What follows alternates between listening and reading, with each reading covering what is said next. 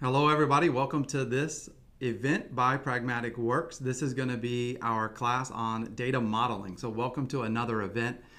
In this event, we're going to be taking a look specifically at data modeling for Power BI. But it's important to point out that the data modeling that we're talking about here has been around for many, many years.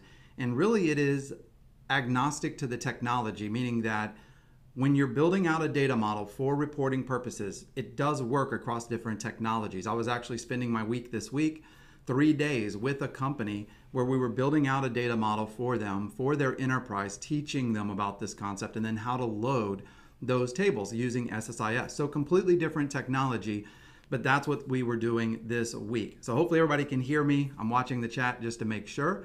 I see people from literally all over the world joining us today. So, welcome everybody. Um, it's exciting to have you guys here. So let's jump right in and just do a real quick introduction to myself. I am a consultant and trainer here at Pragmatic Works. I've been with Pragmatic Works for 10 years.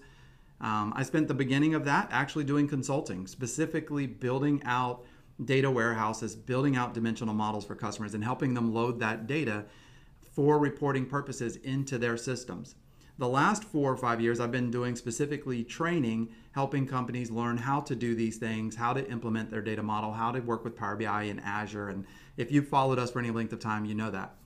I've had an opportunity to author a few different books over the years. I blog at mitchellpearson.com, not as much as I do YouTube, of course. YouTube is a little bit easier for us since we record all the time. And then I have a wife and three kids here in Florida. So, Florida, United States, that's where most of our consultants and trainers are located at. And I also enjoy playing tabletop games. Now, you already know we have a YouTube channel, Pragmatic Works. Make sure to take a moment to subscribe to that channel so you don't miss any events like this in the future. And there we go. If you want to reach out to me, you can reach out to me, mpearson at pragmaticworks.com. So we have a lot of content today that we're going to get into. So I say it's time to let's jump right in and take a look at some of the logistics and the agenda. If you've been to any of these big events that we do every three months, we generally have some kind of sell, either for boot camps or on demand learning. We have classes and boot camps that are structured, of course, around data modeling because data modeling is very important. And so my coworker Matt is monitoring the chat today. He's going to drop right there in the chat window a link directly to where you can get our on-demand learning for a year for 50% off where we have classes on data modeling. I actually did a class a couple years ago just on the dimensional model regardless of the technology and then we also have our DAX boot camp that we do about once a month. Uh, I think the one coming up is actually full though, so you might not be able to sign up for the one in August, but in that class we actually talk about dimensional modeling and stuff like that at the beginning because it's important to everything that we do in Power BI.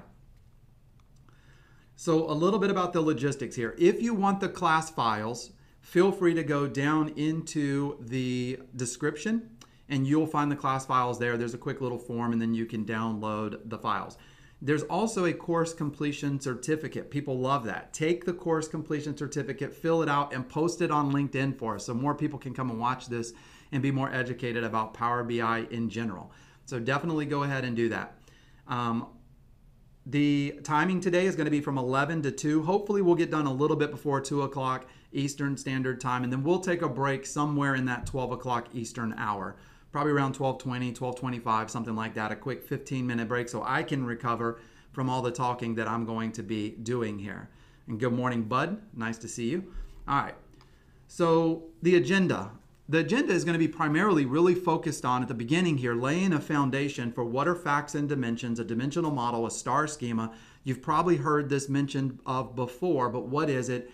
Why is it important? So that's where we are going to start. Then we're going to get into how you create the data model in power bi because you can do that in a couple different places. This week i was with a customer we were doing that in management studio. We were creating tables and relationships and foreign keys right? That's a different technology but the terminology that we're talking about today applies, right? So we're going to talk about how to create that data model in Power BI. We're also going to cover what if I have multiple fact tables? How does that impact things? Aggregate tables, calculation groups, and then different storage modes. Jula Free, I saw that. I appreciate it. Thank you, sir. All right, so with that being said, before we jump right in, I want to recommend a couple of different books here. First of all, the Data Warehouse Toolkit was the first book that I ever read over 10 years ago. Um, that's what the company gave me. And my good buddy, Dustin Ryan, who's over at Microsoft now, kind of walked through that with me and mentored me. The Data Warehouse Toolkit is a phenomenal, awesome book. You also have the STAR schema. The STAR schema I actually recommend and I like a little bit more. I think it's more um, consumable, I think it's easier to digest. It's a little bit more straightforward. I would recommend, if you want to dive deeper into this, that you get one or both of those books because they're both great. Data modeling, in and of itself, let me just be very clear, is something that you literally can spend a career doing and learning. So you're never really, I would say, an expert in data modeling because it's more of an art than it is a science. You have to model your data based on your requirements and what you're trying to accomplish, right? But the good thing is that for Power BI, because Power BI is a lot of times a smaller subset of tables, you don't need to know all of those different things and you know have years of experience to build a pretty solid data model. In fact, we do that for customers in our hackathons all the time where we'll do a two day, five day hackathon where they bring their data. We teach them on their data how to build a model and how to have something consumable at the end. So you can do a lot with the basic star schema that we're going to be covering in this class today. And Peter says that you should go with the Data Warehouse Toolkit. I agree with you, Peter. It's a good book. All right. So let's jump right in and talk a little bit about data modeling. Now, as we're diving into this, one of the things that we should do is we should talk about things that you need to consider as you start to build out your model. You're looking at your data, you start to build out your model. What are the things we need to be thinking about? One, what are you measuring? What are you trying to accomplish, right? Am I trying to the customer I was working with this this this week was looking at invoices for accounts payable that they were purchasing and so, very specifically, they were trying to see what the invoices were and what was paid and what was left to be paid, right? And so they knew very specifically what they were trying to accomplish. So you want to know what you're measuring because that's going to impact the tables that we're going to be creating in your model. Also, what types of business problems are you trying to solve? Generally, you already know the answers to this because you can go in and look at existing reports and ask the end users, hey, what's not in here or what would you like to have in this report that's not already there, right? And so they will give you that information and say, look, here's the problem we're trying to solve. So then we can build out a model that will help us to solve that problem. How much data are you working with? This becomes extremely important when we're working with Power BI specifically, right? Because unlike maybe Azure SQL database or a database, Power BI is going to put everything ideally in memory so we can get optimal performance. But it also means that generally speaking, there are some exceptions we're going to be very limited on how much data we can get in. So, how much data are you expecting to be working with today? And then, how much work or data do you expect to have in the future? And if you know that you're going to have significantly more data in the future, then a solution that you build today might not scale and might not work. So, we got to go with a different method. And then, of course, what are your data sources and where's the data coming from? Because that will also impact the data that we're bringing in and where we're getting the data from. All right, so there's many more things to consider than what's on the slide right here, and I'm going to talk about this. Today is going to be very conversational. We're going to get into a practical demo that will take up a lot of our time, but it's going to be very conversational. I'm watching the chat window, and if I see some things that really drive home some points, I'll make sure to mention that and bring those things out. So, attributes of a good data model, very important. One, it should be easily understood and consumed. Now, one of the things we do, and I don't almost want to mention this because we do so much of it already. I'm not necessarily trying to get a bunch of people to sign up for this, but we do virtual mentoring, one on one mentoring with customers to help them out to understand the concepts of Azure, Power Apps, Power BI, things like that better, right? And in those sessions, as they pertain to DAX and Power BI, 90% of the time, the VM calls that I'm on, one on one comes down to the data model. The data model could have been designed in a way that was more optimal. See, that's a very diplomatic answer. The data model could have been designed in a way that was more optimal than what it currently is. And many of you probably have Power BI models, uh, Power BI data models, and if you open them up, you realize that it's going to be very difficult to explain to people the different tables that are in that model. That means it's probably not easily understood and easily consumed. So that's definitely going to be the first point here, attribute of a good data model. Also, we want to make sure that large data changes are scalable. What that means is that as you continue to add more data to your data model, it continues to perform well. And so we can do things like make sure that it continues to perform well by building it the way we're going to talk about today in a way that is going to perform well over time. Also, it should provide predictable performance, meaning that every time you refresh your dashboard, you refresh your reports, you change your slicers, those uh, those things can be um, predictable. You should expect if it takes five seconds to run one time, you run it again. It should still be around that five second time frame. It shouldn't take 57 seconds to run just because you change a slicer on one of your dimensions. And then, of course, it needs to be flexible and adaptable. This is one of those things that is very, very important. So I see a couple of questions in the chat. Will the slides be available? I will add them to the, the download after the class. So the current class files do not have that. I will add them.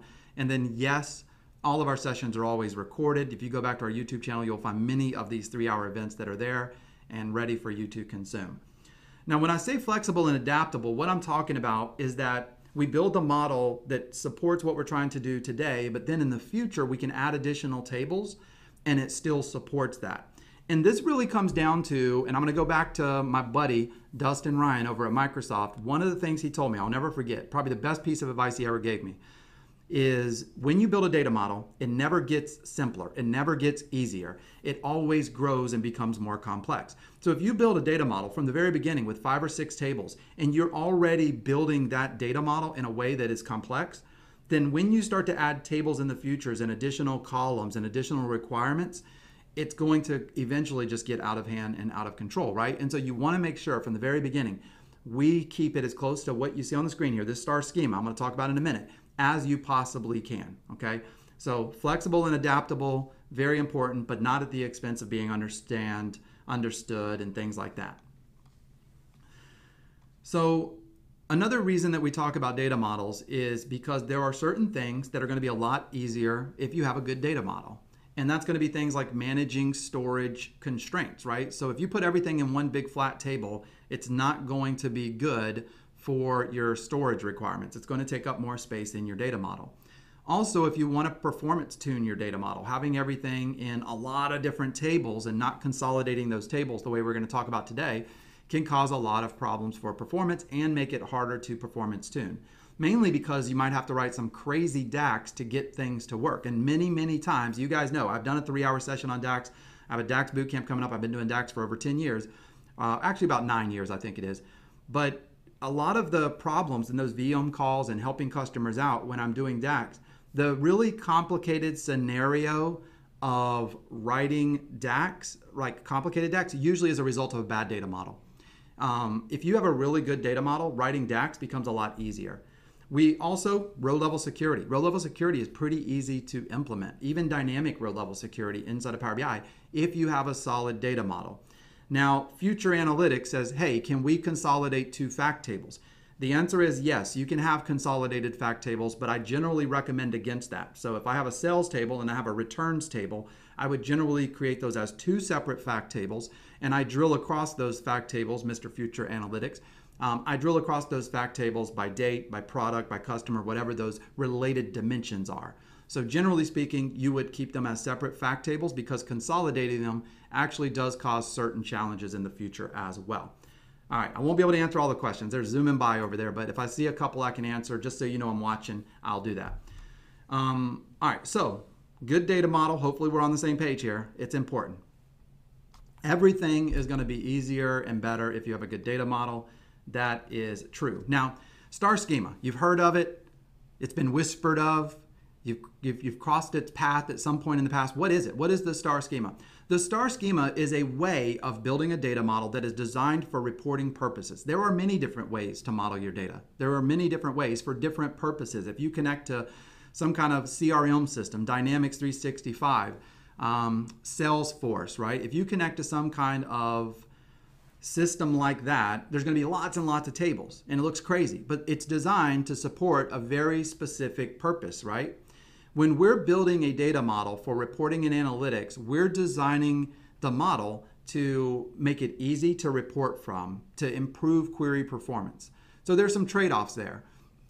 The reason it's called a star schema is because when you surround your main table with your descriptive tables, it looks like a star, right? All of your tables are essentially one join away from the fact table. So from a performance perspective, it's going to work really, really well. It's going to be scalable.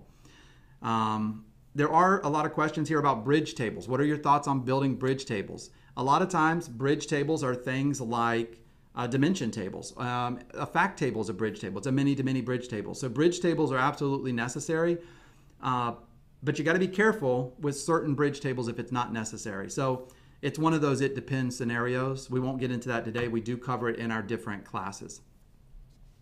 So this is going to be an example of star schema. Now, a snowflake, which I see some people mentioning here and Peter is referencing, a snowflake is when you start to normalize the data. So you start to have more and more tables. So the geography table filters through the customer table, filters down to the fact table. So now you have to go through multiple tables to get to your fact table. Generally speaking, we want to try to avoid this. Not that it's inherently bad in and of itself, but it again starts to complicate the data model, right? So we're trying to avoid getting in there and adding these additional tables if we can model it a different way right? So with geography here, I can potentially model geography so that I build the relationship directly to the fact. So now I don't have to go through my customer table or through my screening table. I can go directly to my fact and it's one join away. And so I'll talk more about that when we get to our actual practical example today in our Learn with the Nerds event. All right, so that is a snowflake. And snowflakes start to look hard to consume, hard to understand, because it's a lot of sometimes unnecessary tables that could have been consolidated. All right, so that's going to be a snowflake schema. There's a couple of different model types that you can work through as you start to build your model. What I do when I'm working in a hackathon with customers or back in the day when I was doing consulting and we would go to different consult, you know, companies and help them build out their data models is generally I would start with a conceptual model, very high level, just a visualization of what we're thinking. So we could see all the different tables that were going to be involved in that model that we built, right? Then you get down into more specific details, like the logical model. So I have my sales table. What are going to actually be the columns that are in that sales table? Transaction number, product key, you know, sales date, sales amount. What are going to be the actual columns in my product table? So that's more of a logical model that makes a lot of sense. Then we have our physical model. The physical model, specifically like in a database, is where you start putting things in there like the data types, if it's nullable, foreign key and primary key constraints, and things like that. Today, we're going to be focused primarily on the conceptual and the logical model, and then the physical model is built in Power BI, but it's not like it is in a database. Kimberly says, Does dim equal dimension? Yes, very astute observation, Kimberly you have won yourself 50 Mitchell bucks for the presentation today. Good job. Dim does equal dimension and fact equals fact for fact tables. All right. So the conceptual model is going to look something like this. A lot of times I will use a conceptual model and I'll build a conceptual model in Excel, right? This week, Monday, I was doing a hackathon with a customer. I opened up Excel. I said, let's do it. And we started modeling out what the tables were that we thought were going to be necessary for the reports that they wanted, right? And then we went to their system that, of course, has thousands of tables across multiple ERPs, and we started pulling out the tables that we needed to, to really identify the columns that would be part of those tables. Now, in Power BI, usually building the data model is way less complex than that, right? It's an Excel file or it's a, some view somebody's already created for you. You just need to pull it in and then turn that into a um, turn it into a data model. So on the next slide here, let's dive a little bit more into dimensional model concepts. So again, we're going to talk through some of these points before we dive a little bit more into it. So the dimensional model itself is, again, it is a very specific type of data modeling that is designed for reporting purposes, making it easy to retrieve data and making it easy to understand the data that we're trying to access, right? This has been around for a very long time, going back to the data warehouse toolkit that we talked about with Ralph Kimball, and then of course the star schema. Pragmatic work, this is all we did for our first, you know, um, we've been around for 15 years as a company. For the first 10 years, we just did consulting and going to companies, helping them build data models and helping them to report on their data. A fact table is an event that may or may not include measures. Now, what I mean by that is there are different types of fact tables. Generally speaking, when we think of a fact table, we think of something very standard like a sale, a transaction, a line item on a transaction, right? So Mitchell went to this store on this date, bought this product for this amount and this quantity. That is a line item that we enter into our fact table for the purpose of recording that fact or that event. We also have factless fact tables, fact tables that don't have maybe measurable items like sales amount, a student taking a class. an interaction with a customer. We do a lot of work with healthcare companies and education, and a lot of times their fact tables don't actually have numerical data in it. They're doing a lot of counts and distinct counts and things like that. But it's tracking the event that occurred when they had an interaction with a member, whether it was a phone call or an uh, in office visit or whatever it might be. So there's different types of fact tables um, that are just relevant to different industries and different businesses.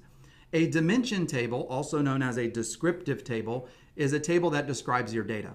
So if I come to you and say, hey, we have $5 million in sales, you're going to say, that is awesome and that is great. However, by what year? By what product? By what geography? By what customer? By what store? And as you start saying by what, that starts to identify our dimensions that we need to put into our model because in those dimension tables, we're going to have a, a, a, group of related columns that will describe our data for us and give us more information, right? So those are going to be dimension tables. An attribute is just terminology that references a column depending on what system you're in. But an attribute is a column in your dimension table that describes the data. Diving in a little bit more to fact tables, a fact table can contain measures. Sometimes it can be items that are already pre-aggregated if you build like an aggregated fact table, but they're, at, they're generally items we're going to aggregate in some way, whether it's a count, an average, a sum, a max, whatever it might be. And it's defining a business process, right? We're recording a business process that we want to measure. Examples might be things like claim claim amount for an insurance company, screenings which might have no measurable items but it's more of event based, total claims, cost, sales, any of those kind of things are examples of fact tables. And just for the sake of everybody else here, if you have an example of a fact table, put it in the chat window. We would love to see what your example of a fact table might be so everybody can get ideas of what fact tables would be. Measures are generally going to be sliceable, right? By year, by country, by state, by whatever. And then examples might be by month, by member, by customer, by geography, whatever it might be. So that's going to be your fact. Fact table, as we've talked about before, the fact is an event that may or may not include measures. One of the things that's very interesting about fact tables in general is that when we define our fact table historically speaking, and you'll find this in the Ralph Kimball book, you'll find this in the STAR schema, we generally recommend that you store the data at the lowest level of information, or what is known as the, the granularity is uh, very atomic, very detailed. The reason for that is because you can always roll up the data. You can always roll it up to the month level. You can always roll it up to the category. You can always roll it up to the store. But if you store it at the store level, you can't roll down. You lose descriptive capability. You lose what we call dimensionality.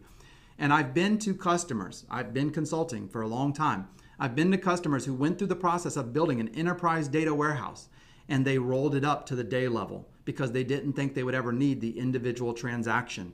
And they realized after they released it to the end users that the end users started asking questions about the data that their model couldn't answer. And in those enterprise data models, you might spend six months or a year building out a very large data model. And I've been to customers where we've had to rebuild their entire data model because they did not plan that out ahead of time, right?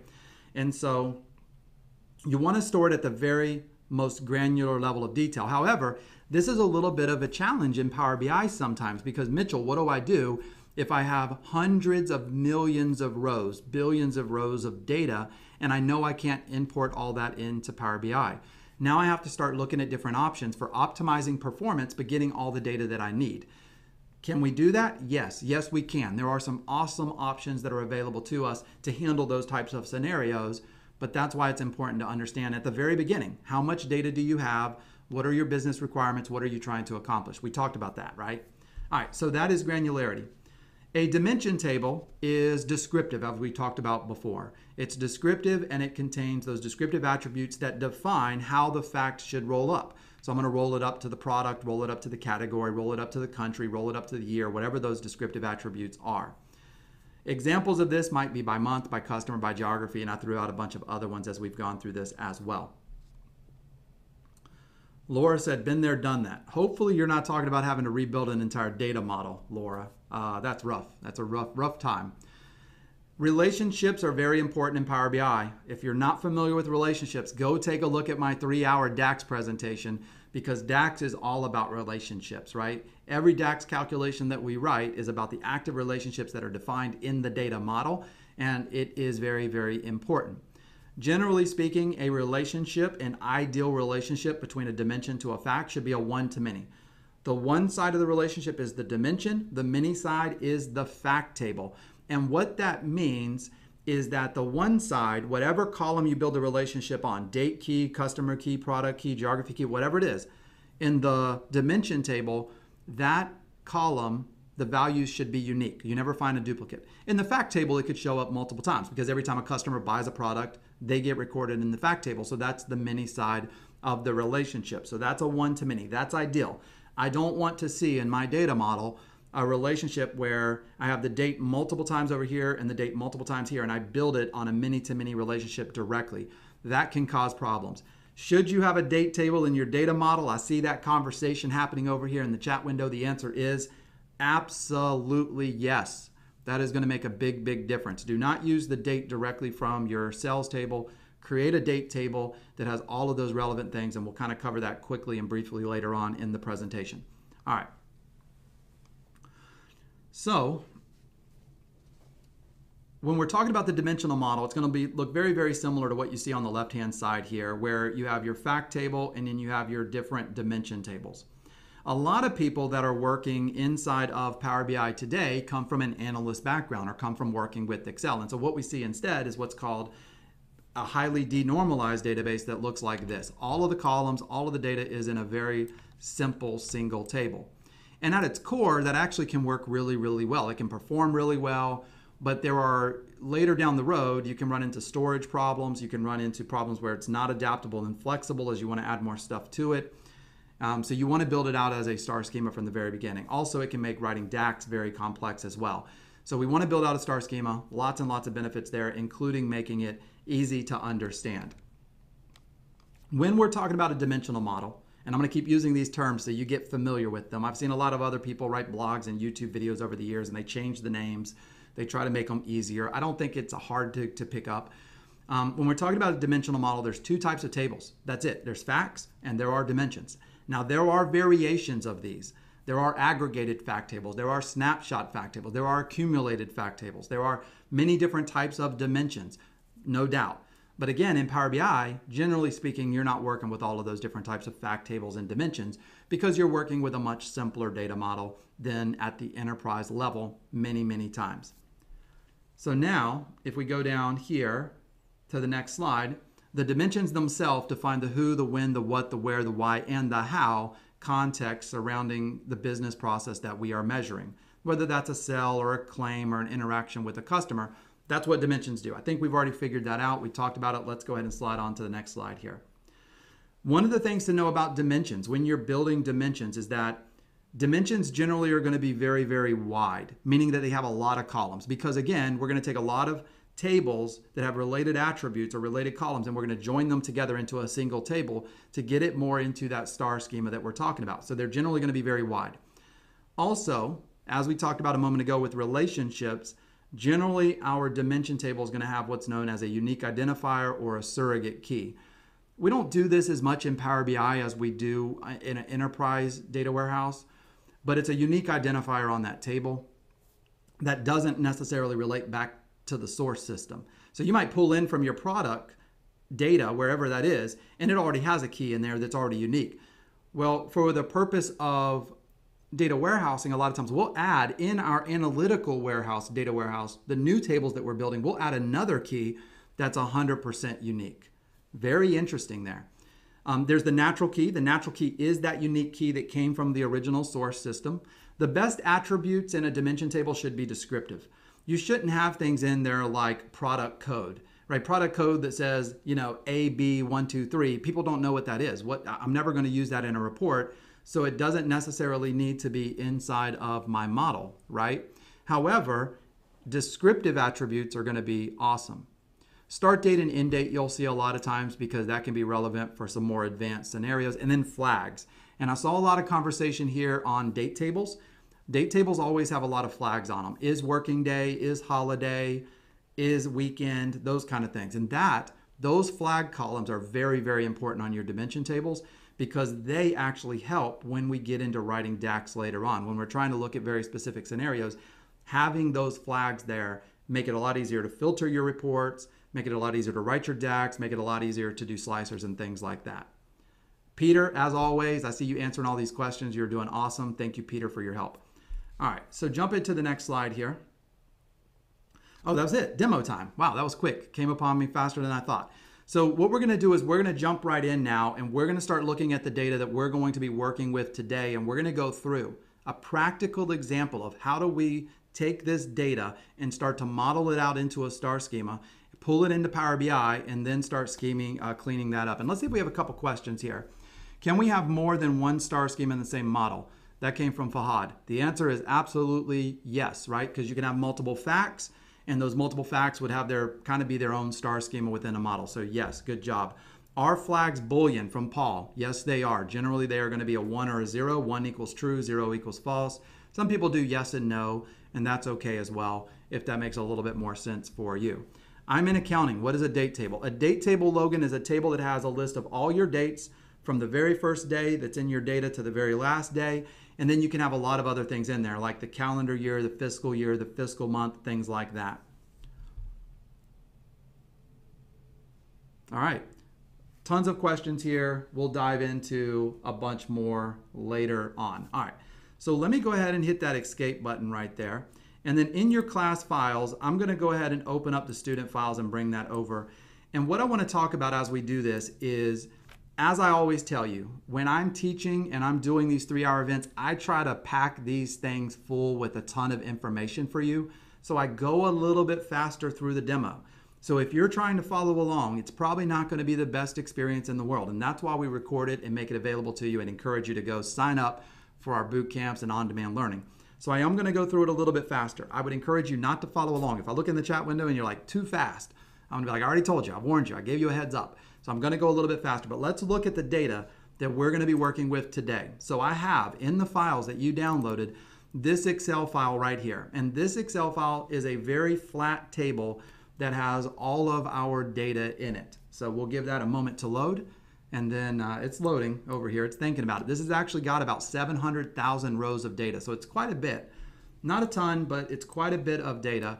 And I'm going to bring it over. Now, this is probably the most common scenario that I see the users that we work with usually have these really big Excel files that have hundreds of columns and that's what they try to bring into Power BI and it doesn't really work. It causes all kind of problems because Power BI is much different than Excel.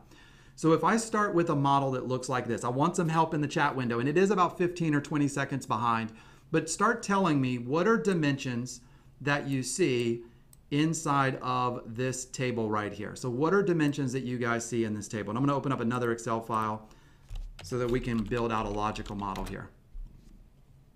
So we'll give it just a second. I'd love to get some interaction from the group here. All right. So first, while we're waiting for the lay, the delay and the lag in the video to catch up, the first thing that I notice is that each record in this table currently represents a transaction that occurred, right? So we know that the granularity of our fact table, just by looking at this data, is that one row in our fact table is going to represent a transaction that occurred by what? And when we get, oh, there we go product, customer, segment, awesome, date, geography. Man, you guys are crushing it. Great job. Yes, all of those are dimensions. 100% correct, right? So that's exactly right. And so let's kind of build out. I'll show you how I build out a conceptual model here inside of Excel. I generally go over to insert. You guys are still crushing it there. Customer, segment manufacturer. I didn't see that one earlier. Good job. So what I'm going to do is go into insert and under insert, I'm going to tell it that I want to do smart art. Let me go ahead and make it a little bit bigger right here. And under smart art, I'm just going to bring in something that I can work with like this. All right. Now, inside of this, we can start identifying our conceptual model. Remember, this doesn't have columns or anything like that, but the first thing I have here is going to be my fact sales, right? We can see when I first look at this Excel file that each record pretty much represents a sale or a transaction that occurred. And so we get that. The next thing is we start identifying our dimensions, right? And so dimensions, you guys have already started saying them, like date. Date is a very important dimension. that pretty much every data model should have. So we're going to have our dim date. Let me see if I can make this a little bit bigger here. Another dimension that we identified is going to be our customer. You guys brought that out, right? Dim customer. Geography is an interesting one. Let's talk about that in just a moment. Um, we're also going to have product because we're selling a product, so we want to be able to break it down by product, product, product category. So we'll have dim product here. And then another one that we're going to have is y'all mentioned campaign. I'm actually going to skip campaign for the sake of the presentation, but that is a valid dimension for sure. Normally I would add that in. I'm going to skip manufacturer also. We have category and segment that goes with product. We have geography. Geography is an interesting one. We'll come back. We also have customer. I forgot about customer here. So we have customer. Let's add that in. So this is going to handle, oh, I did do customer already. So let's see. We got dim customer, product, date. I think that is the majority of it from the beginning. We also have geography. I'm going to skip manufacturer. I'm going to skip campaign. That's going to be the majority of it. Now, geography can go a couple of different ways. And you can argue this point a lot. It could be that we take the geography and we just put it in the customer table. So we just put the city, the state, the region, the district for each customer. We track that in the customer table. So it just becomes more of the customer table and we filter from there. That, that has some pros and some cons. I won't go through all of them. Pros is that it might, it, it's good. It simplifies the model. I can filter from there. The cons is it might not be flexible, versatile for the future because in the future, I might have some other fact table that I bring in that doesn't track customer, like inventory. That's a good example. We bring in a fact table that tracks our inventory levels. And that table, connecting to that, I might connect on geography, but it doesn't relate to customer at all. So now how do I build the relationship from dim customer to that table when that table doesn't have customer? So it might make more sense to actually have here my dim geography as a separate table that I relate directly to fact sales. Another way to do it, another way is you can actually relate dim geography through dim customer to fact sales and actually normalize this or snowflake this out a little bit. Again, none of those are inherently bad, but I'm just kind of talking through different ways to do it. All right, so that's going to be kind of our conceptual model. Now, that we've gotten that, let's pull it into Power BI and let's walk through and let's talk through how do we actually bring this all together. We got a question here, can we merge city and state? So I would keep them separate, but you could also merge them as another column just so that when you put it into like a visualization, a map visualization in Power BI, it has less chance of actually mapping it in correctly, so less ambiguity. So many, many times I do merge them together. Eric, let's see what you got here. Date, customer, manufacturer, product, dim category, dim geography. Yes, category we can move into the product table, but we're going to do it actually as a separate dimension. Good job. We'll talk about that here in just a little bit. You, oh, if I had more than four for this, Sue, you can just come over here and you can add them here. All right, so let's go ahead and move this back over here. I'm going to open up Power BI and we're going to actually jump into a practical demo, which is what everybody loves anyway because that's how we learn. So I'm going to pull Power BI open and pull that over to our screen. Let me close that Excel workbook right there. Excel's a funny one. Sometimes when you're working with CSV or Excel files, if they're open, you can't really connect or do anything. And so what I want to do very briefly here is connect to that CSV file that's inside of our class files, and I'm going to go ahead and open that up. All right? And then, of course, we need to clean this data. So this is the practical way that you would do this. You say, Mitchell, I'm not an IT professional. I'm not, I haven't worked in business intelligence for years. I don't work with, you know, I don't work with things like SQL Server databases. I don't know how I would break those tables up the way that you're saying. That's okay. That's great. I'm going to show you exactly how you can do this right here in Power BI and make this work. So the first thing that we're going to do is connect to your data, that big flat Excel sheet that you have, and then go ahead and click on Transform Data. When you click on Transform Data, you know, I know, everybody knows, that is going to open up Power Query Editor. And the Power Query Editor is specifically designed for cleaning, transformation, and curating your data, right? Michael said, would you add category as a separate dimension on the fact table or an extended dimension from the product dimension? I would actually, Michael, generally speaking, add the category into the product dimension. So I'd have the category, the subcategory, the description, all of that in the product dimension as one single dimension, generally speaking. There are other ways to do it, but that's how I would normally do it. In this class, in this session, I'm actually going to split it out and I'll show you why when we get there later on. So stay tuned for that. The dimensional model is a denormalized data model. Yes, it is. It's not fully denormalized like a flat table, but it's it's not normalized like third normal form, like you know, like ERP systems, CRM systems like that that are designed for different purposes. So yes, it is a denormalized data model. All right. So I'm going to avoid questions for just a moment so we can dive in. Now, when you look at this table, this actually is very convenient for us because it already has a bunch of IDs and keys, but I'll talk about that here in just a moment. The first thing that I want to do is over here on the left, we have our sales table. I'm actually going to go ahead and give that a name. We'll call that fact sales. And I'm going to right click and I'm going to duplicate that table a couple of times. And I'll explain exactly what we're doing and why we're doing it here in just a moment. You can also use something known as reference. Reference is great, but you can't use reference if you're going to join back to the table, which many times when you're doing the process that I'm doing right now, you actually would uh, join back because it doesn't have a key. Like a lot of times your flat table doesn't have a customer ID. It just has customer information and you have to create a customer ID. A lot of times it doesn't have a product ID and you have to create it, which I'll show you how to do that here in just a moment. So I'm gonna go ahead and let's duplicate this one more time and this will get us a couple of our different tables that we want today. Now, the next thing I'm going to do is go ahead and rename this one. So let's build the product table first. There was a lot of conversation there about product. So Kelly, my table is about 700,000 rows, I think. So not too big, sizable, but not too big. I'm going to right click right here. Let's go ahead and hit F2, and we're going to call this one our dim product table. Now, once you're done with your model, generally speaking, I don't actually leave the prefix of dim in fact on my table names. I would remove those for the end user, but for the sake of the class, I'm going to leave those in there so that everybody understands where our dimensions are and where our fact tables are. All right, so that's going to be the dim product. And then what I want to do is get rid of all the columns in here that are not related to the product, right? Because we're creating our product dimension. So up here at the top, I'll click Choose Columns. This is basic Power BI stuff, very powerful, very capable. And I'm going to go down the list and get rid of everything that's not product related. So we're going to keep product ID. We're going to keep our product name, category, and segment are great. Unit cost and uh, unit price might be relevant per product. And then our, I think that ends up being it because that goes with the city. Yes. So we're going to click OK. And that gets us this right here. Much smaller table that only has the information that's related to product. Now the next step is we have a bunch of duplicates because we pulled this from the fact table. So each time a product was sold, it was recorded. We don't want duplicates in our dimension table as we talked about before. So I want to remove duplicates. So I'm going to select all of my columns using the shift key.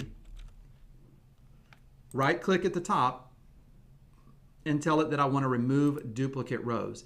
And that's actually going to take it from being, well, it doesn't tell you in the Power Query Editor how many rows it is, but it's going to reduce it a lot. So this just reduced a lot of the rows of data that we have. Again, you'll notice that we already have product ID, which will automatically join back to the fact sales table. But sometimes you don't. Sometimes you don't actually have product ID, so you have to add your own. The way that I would add my own key if it didn't already exist is I would do it like this. I would go up to add column and I would tell it I want to add an index column and I would click the drop down and I would say from one. And so that will actually create a new column over here that starts with a value of one and automatically increments all the way down, giving me a unique value. Now, assuming that I did not have a product key, I'm giving, I'm giving you some extra stuff here. What I would now do is I'd have to merge back to my fact table. So I'd come back over to my fact table and I would join the two tables together and I'd bring the key from the product into this. So I would join them on product name. Um, product name is probably sufficient enough. I'd join on product name and add the product key back into this table. Very important step if you don't have that product ID. We don't need that, but we will later. So later I will have a practical example that we'll do. So this is a precursor, kind of building the foundation of what we'll talk about later in this class. I'm going to come over here and re remove that index. Now, this table is done. There's really not a whole lot more to do. Later on, we're going to break this out. Some of you mentioned a category dimension.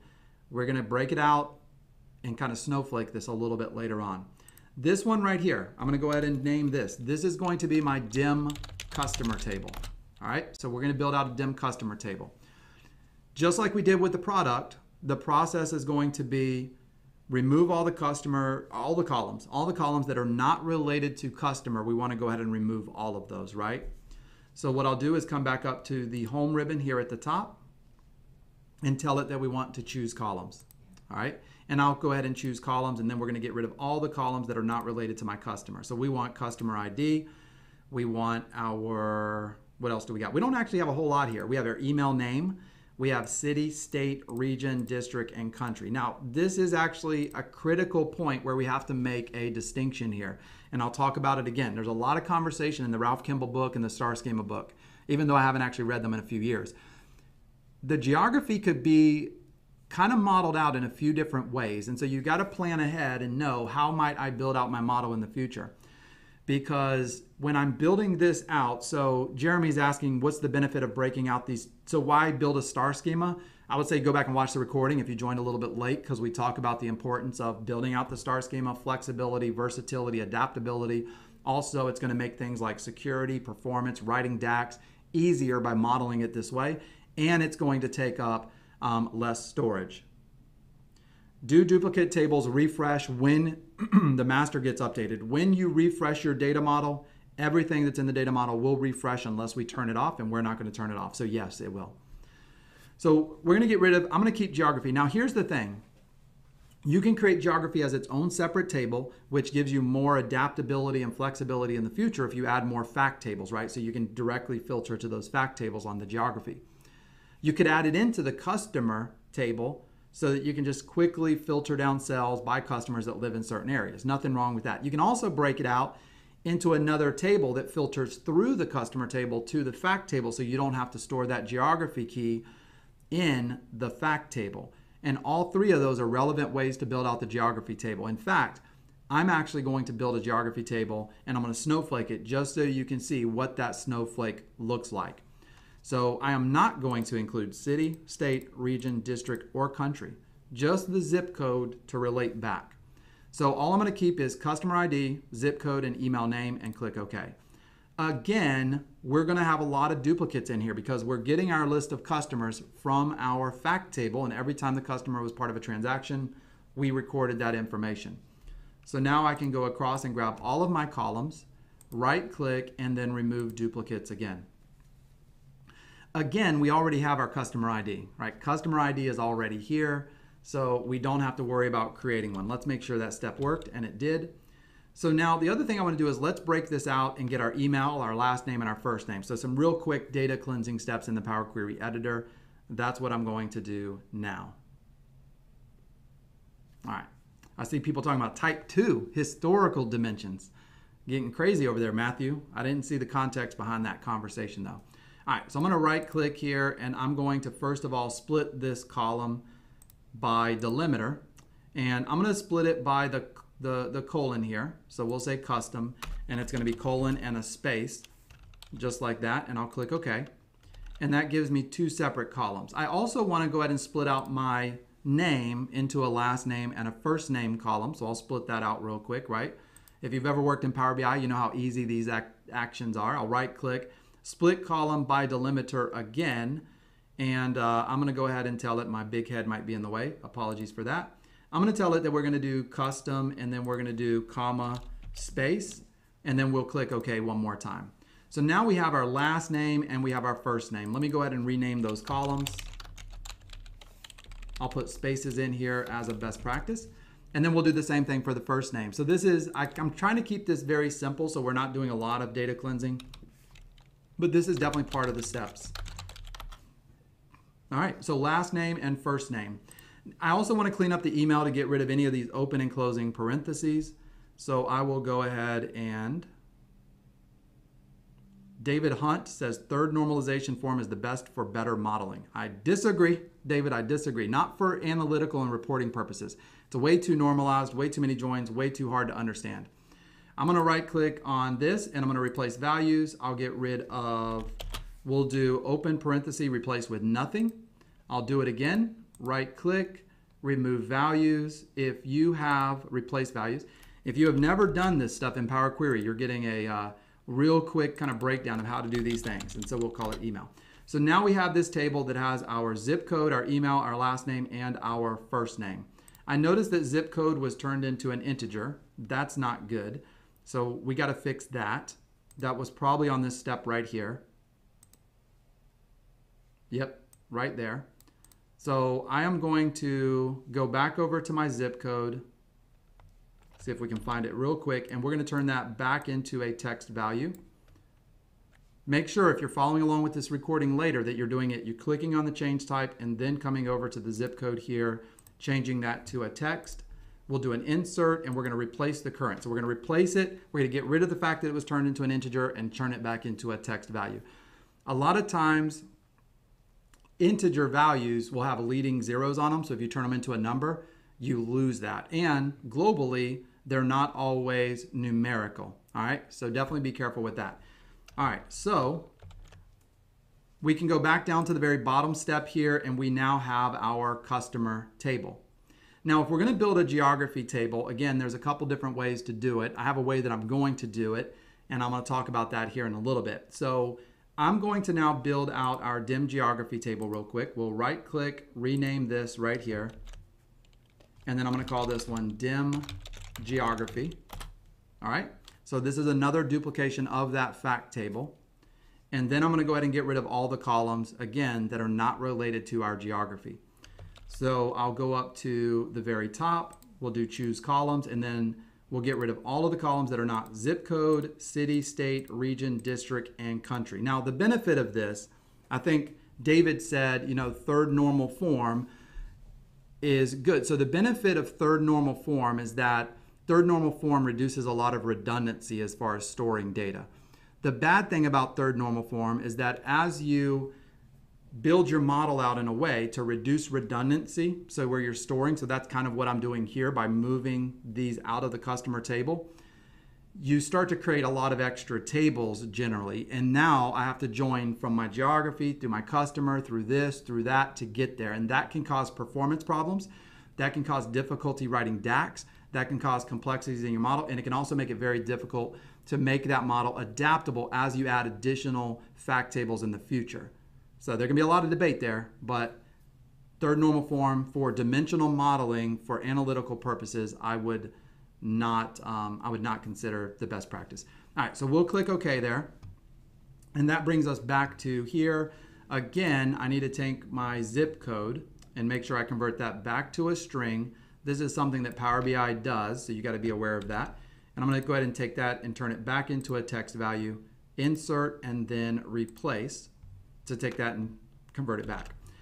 So now we have our geography table. If I want to relate this to the fact table, right? If I want to relate this to the fact table, the fact table has a zip code in it. So I could hypothetically use the zip code.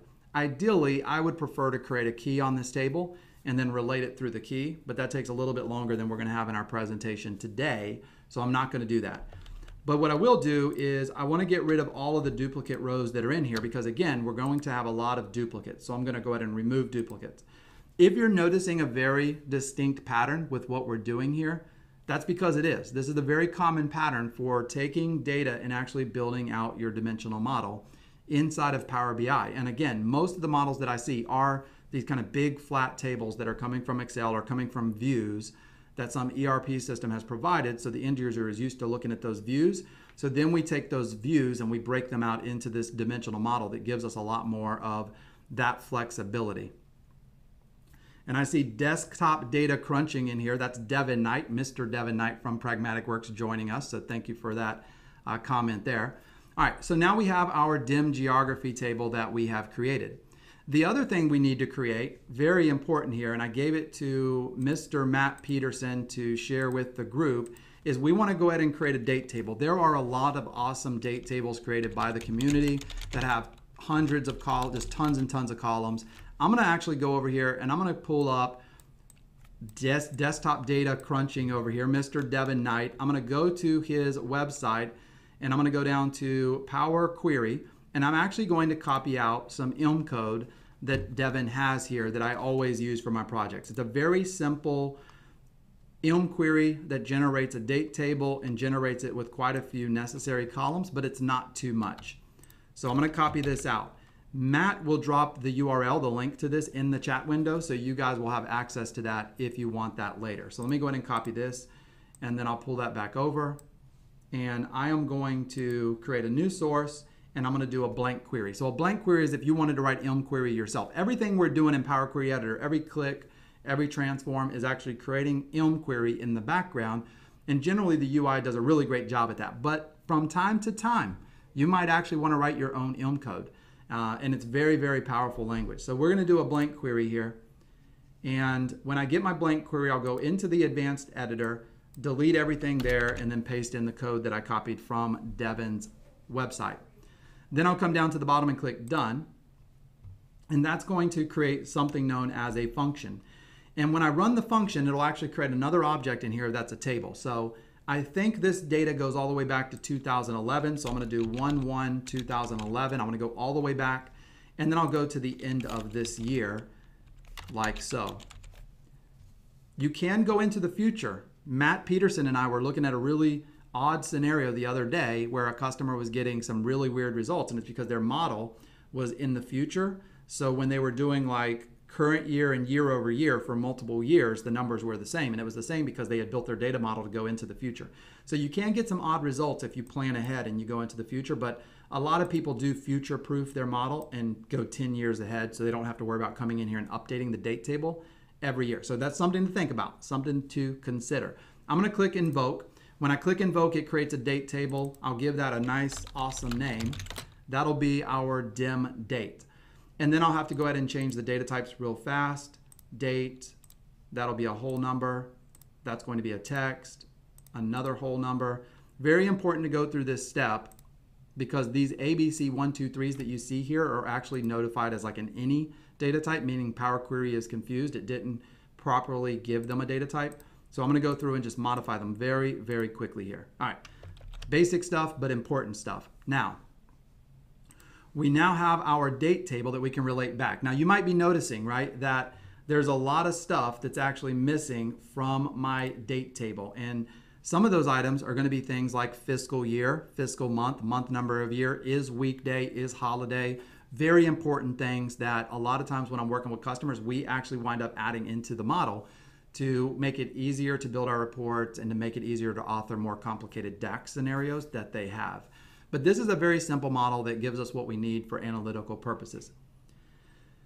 Now, the next part that I want to cover here is taking a look at what this looks like in the data model and then talking about how we can come back and add additional, um, adding additional tables to our model. And then that'll get us to a very good point where we can take our break right here in the middle of the session today.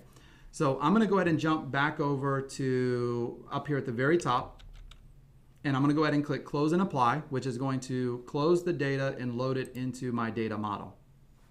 Generally speaking, I like to actually save the model first. So let me go ahead and save it. And I'll call this, I'm going to do save and I'm going to say apply later.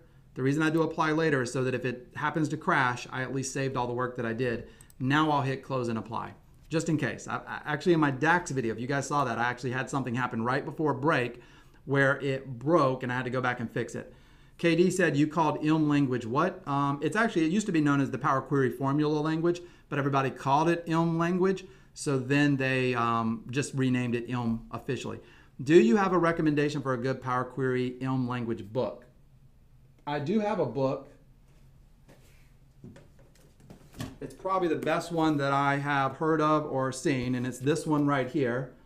I never read it. It is smells very, very clean because I just don't find myself doing a lot of M query, to be honest with you. There's a lot of other ways to clean and transform the data, but that's probably the book I would recommend. There was one before that called M is for Data Monkey or something, um, and that was pretty straightforward, but this is probably the book, that book right there. All right, so the model has been loaded. Whenever you load your data into the data model, the first thing that I want to do is go take a look at those relationships and make sure the relationships have been defined and built the way that we expected them to, right? So I'll go over to the model view. And in the model view, I can start to kind of see if this is going to look like a star schema. Now you're going to notice right out the gate, and we're going to have to make some modifications to this. So we're going to be diving into some of these other conversations and concepts once we get back from our break. But I already have this snowflake that's starting to occur right here where geography filters through dim customer through the fact to the fact table. Again, we could model this differently. I'm going to go with this for the purpose of this session. I also need to build a relationship from my date table to my fact sales. If you're not aware of this, I'm going to show you something real quick. If I come over to my model, my report view, and I build a very simple visualization here, that is going to be my year Let's do year here and we'll make sure it's not summarized. And then I bring in from my fact sales table, my total sales. Let's see if we can find that real quick. I think it's unit price. There we go.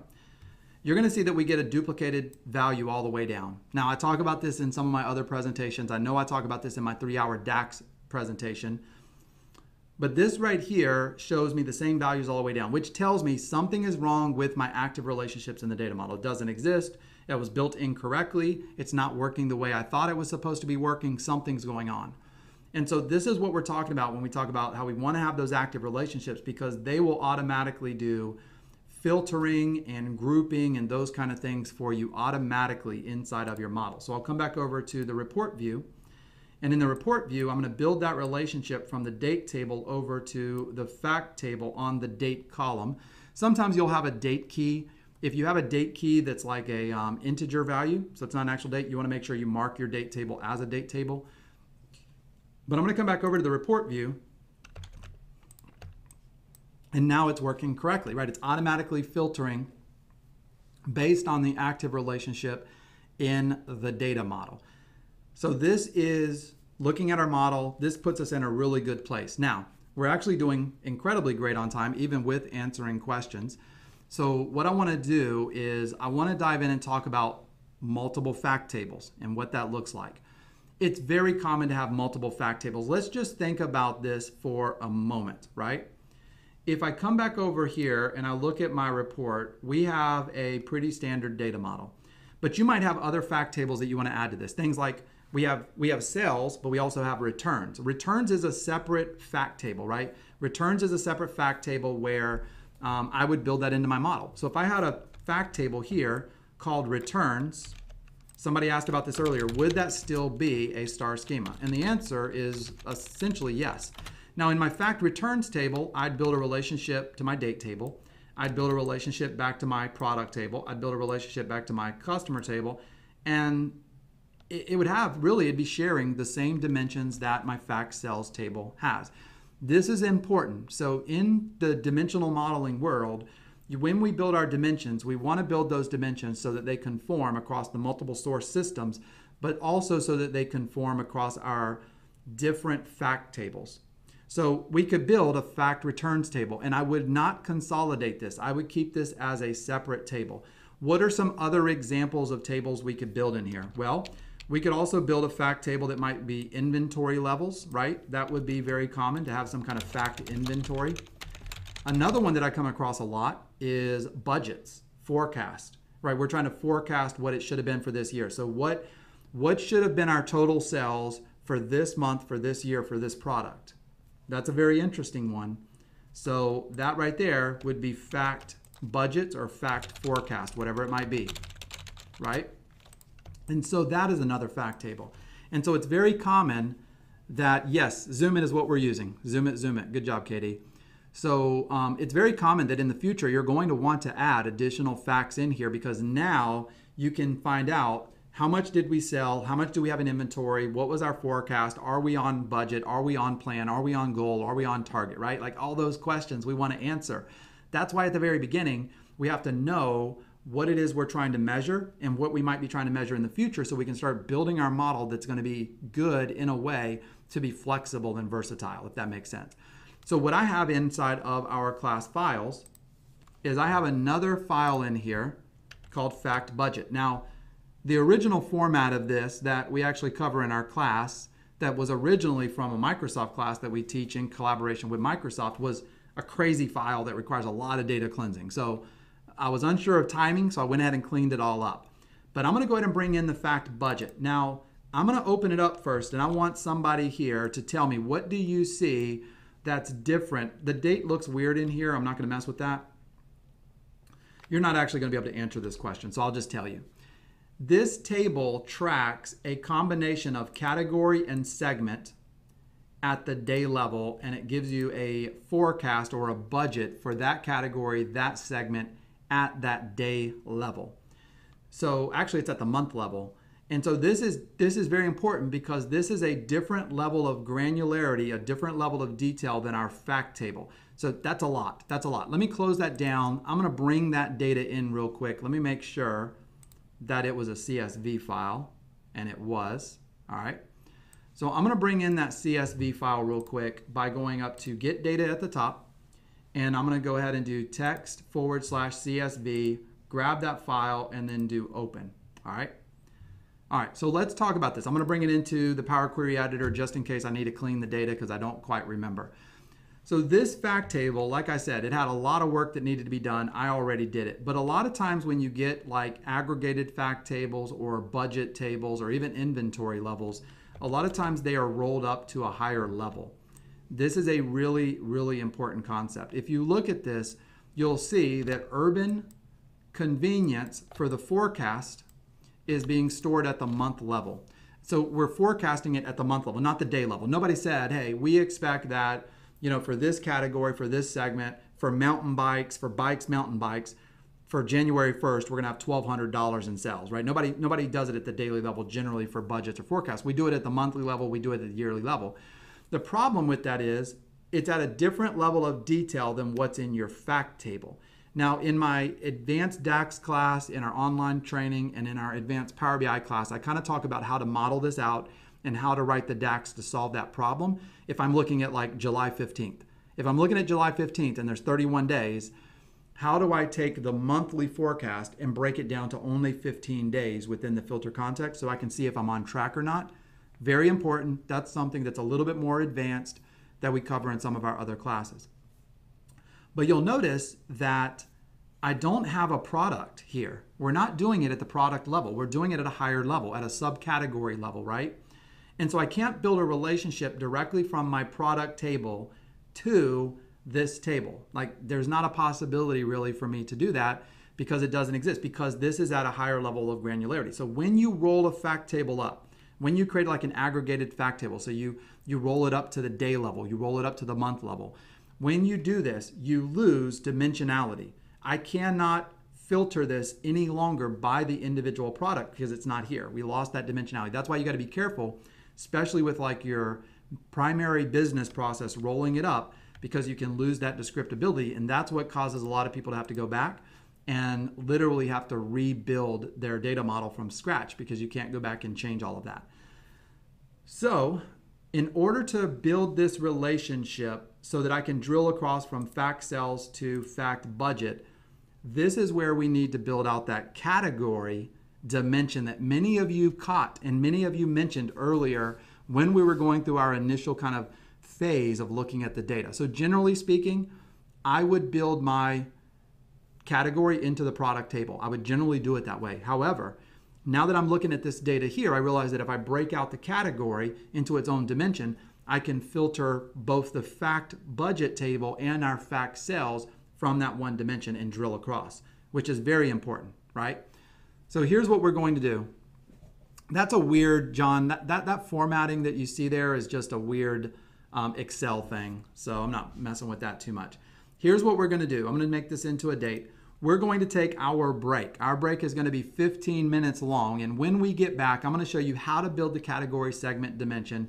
And then we're going to get into some other concepts and things that we want to talk about specific to data modeling with Power BI. Some really cool stuff that we're going to have when we come back from our break. All right. So I'll see everybody back here in, oh, that messed up. Hmm. Let's see if we get rid of that. Change that over to a date real quick. Hmm, I'm going to fix that in a minute. I'll re-import that while we're on a 10 minute break or 15 minute break. See everybody back here in 15 minutes.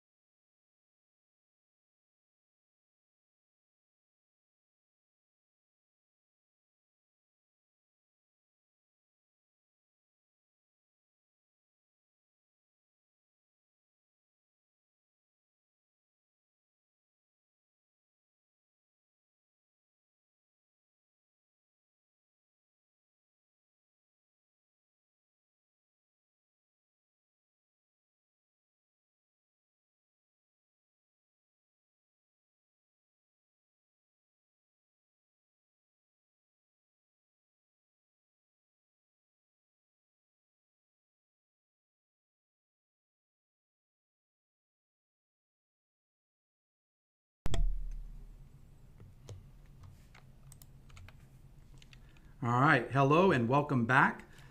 Quick but much needed break there. We're going to dive right back in, and I was looking through some questions, so we're going to talk about some of those questions here as we dive back into it. And Matt let me know that I had actually forgot a critical step because I don't actually have very specific notes here. In fact, I have no notes. I'm just kind of walking through what I knew I wanted to talk about today. And so I'm going to pull back over, excuse me, our Power Query editor. And there's a couple really important questions I want to talk about. First of all, let me fix our original fact table. So if I go back over to my original fact table, once we duplicate that and we break all, all of our different dimensions into separate tables, we then need to come back and just remove all of those extra attributes and columns that we don't need inside of our fact table. We don't need them there anymore, right? So I'm gonna go through and remove a bunch of that information. So I'll do choose columns here. I think somebody asked about that. And so I'm going to go down the list and I'll get rid of, we need product, all of our ID columns we need. We didn't keep campaign, so I'll get rid of it. I'm going to keep product goes, segment goes, because we can get all that information from the product table, right? Manufacturer goes, we'll keep unit cost and price because that'll give us our cost and our sales. Zip code is going to go email, city, state, region. There we go. So very, very small. A lot of times fact tables are not very wide, but they have a lot of rows. All right, so I'll click OK. And then before I forget, I have a very special thing that I want to share with the group here today, and it is primarily uh, just thanking Peter for his contributions in all of these trainings. And so, Peter, you are going to be awarded with the Certificate of Top Technological Superiority. It's awarded to you for earning the distinct honor of accruing the most Mitchell bucks. So if you want that, I'll send it to you in PDF format. You can put it on your LinkedIn, put it in the office, in the break room. I'll send it to you. Just send me an email. But we thank you for your contributions uh, in the chat. Now, we're getting a lot of questions about data modeling, a lot of awesome questions. Maybe we can do some kind of follow-up event where we do a Q&A. That would be awesome. So let us talk about that internally and keep your ears out for that. What I would like to do now is kind of dive into what I heard about type 2 dimensions. Type 2 dimensions are a little bit advanced. I had to do this all the time when I did you know data modeling for customers and consulting. What a type 2 dimension is or a historical dimension is it's this idea that when something changes in the dimension you want to track history.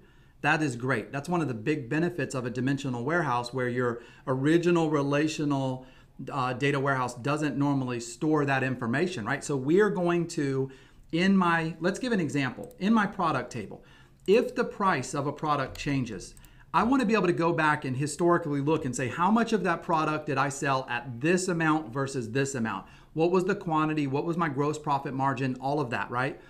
That is historical information. So, what you do is every time, and this goes back to a very key concept, it's a little bit more advanced, but I'm going to introduce it to answer some questions.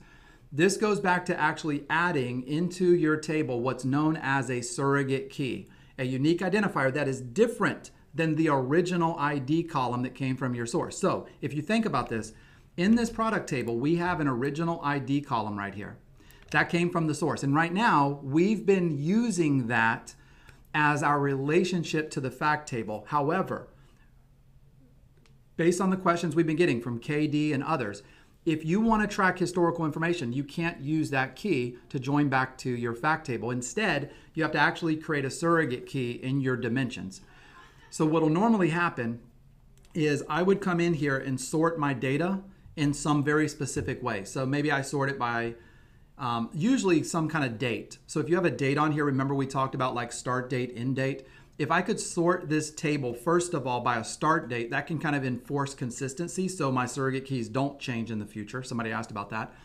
But you would have a date normally on. If you have a historical, you'd have a start date, end date. I would sort it by the start date, end date. In this case, we'll sort it by product key. So I'm going to sort right here.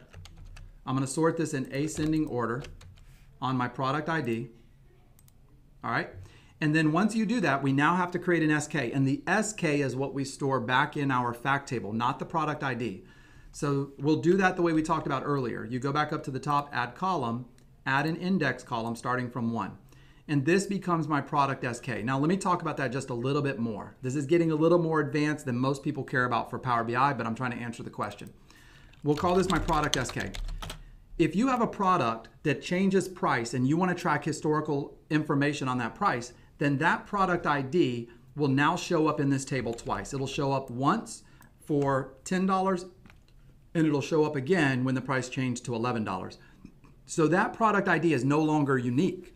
So it no longer gives us that one to many relationship that we talked about earlier that we wanted back to our fact table, right?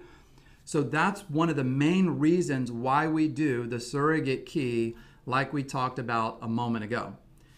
So this is what I would store in my fact table. Now, because my fact table doesn't have that, what I would actually have to do is join back to my fact table. Very interesting. I'm thinking through this as I talk. I join back to my fact table on whatever makes a row unique. So that would be product ID. And then you'd have to, I actually have a YouTube video on this next part. Uh, maybe we can put that in the description or something later. We'd have to do a range lookup. When did the product sell? And then you'd have to look up to this table because remember, a product shows up in this table multiple times for each list price. So then you'd have to join back to this table and you'd have to say where the start date, the date of the sold product is between the start date and the end date of the product here to get the ID to add back to the fact table. This is all part of you know ETL here, this this kind of idea of extracting, transforming, loading data and getting the dimensions in the fact tables correct.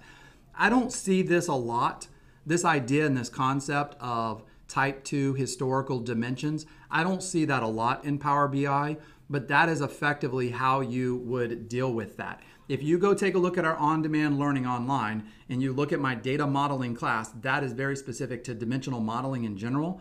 Again, I created that class years ago. I probably don't have a goatee in there, but the, the concepts have been relevant for years, and I would talk about this there, I'm sure. All right. So that's not for everybody. That's extra. That's free, no charge, thanks to the questions from KD and others. So that covered our fact table, cleaning it up. We would not remove duplicates from the fact table because everything in there should be legit. Why not unit cost in the, so I left unit cost in the fact table, Dennis. I actually left it in there. It should still be there, right? Because that gives me my cost. Yeah, I still have it there so I can quickly figure out my total cost, total um, sales, and then gross profit and things like that. So I actually still have it. All right. So now the next thing I want to do is let's talk about how to build a relationship to fact budget. I'm going to hit close and apply so you can see the problem that we currently have when we bring in the fact budget table. And I appreciate all the positive comments in the chat window. That's awesome. Glad you guys are enjoying it and having a great time. That is our goal. We love training at Pragmatic Works. Brian, Devin, myself, Manuel, our team, we used to be consultants. And when we sold consulting, we were very happy to keep the training company and keep doing this because we really love training um, people to do this. So now I have my fact budget. I can build a relationship to the date table on the date, and that right there is fine, right? But how do I build this relationship over to like my product table? I can't, right? Because I have product ID, but we're not tracking our budget at the product level. We rolled it up to the category, we rolled it up to the segment. So this is where I have to do what you guys mentioned earlier in the class, where you said, let's build a category dimension, right? And so we'd have category that filters product that filters sales. So it is also kind of going more towards normalization. It's going more towards snowflaking than a star schema. Again, there are multiple ways to model this. So I'm going to show you a way to model it. It doesn't mean that I would necessarily model it this way myself. It would depend on other criteria and other requirements that I gathered during that gathering requirements phase when talking with the customer, looking at existing reports, and seeing what all was relevant there. So here we go. We're going to go back into the Power Query Editor and build yet another critical dimension for our data model. So I'm going to go back over to our transform data.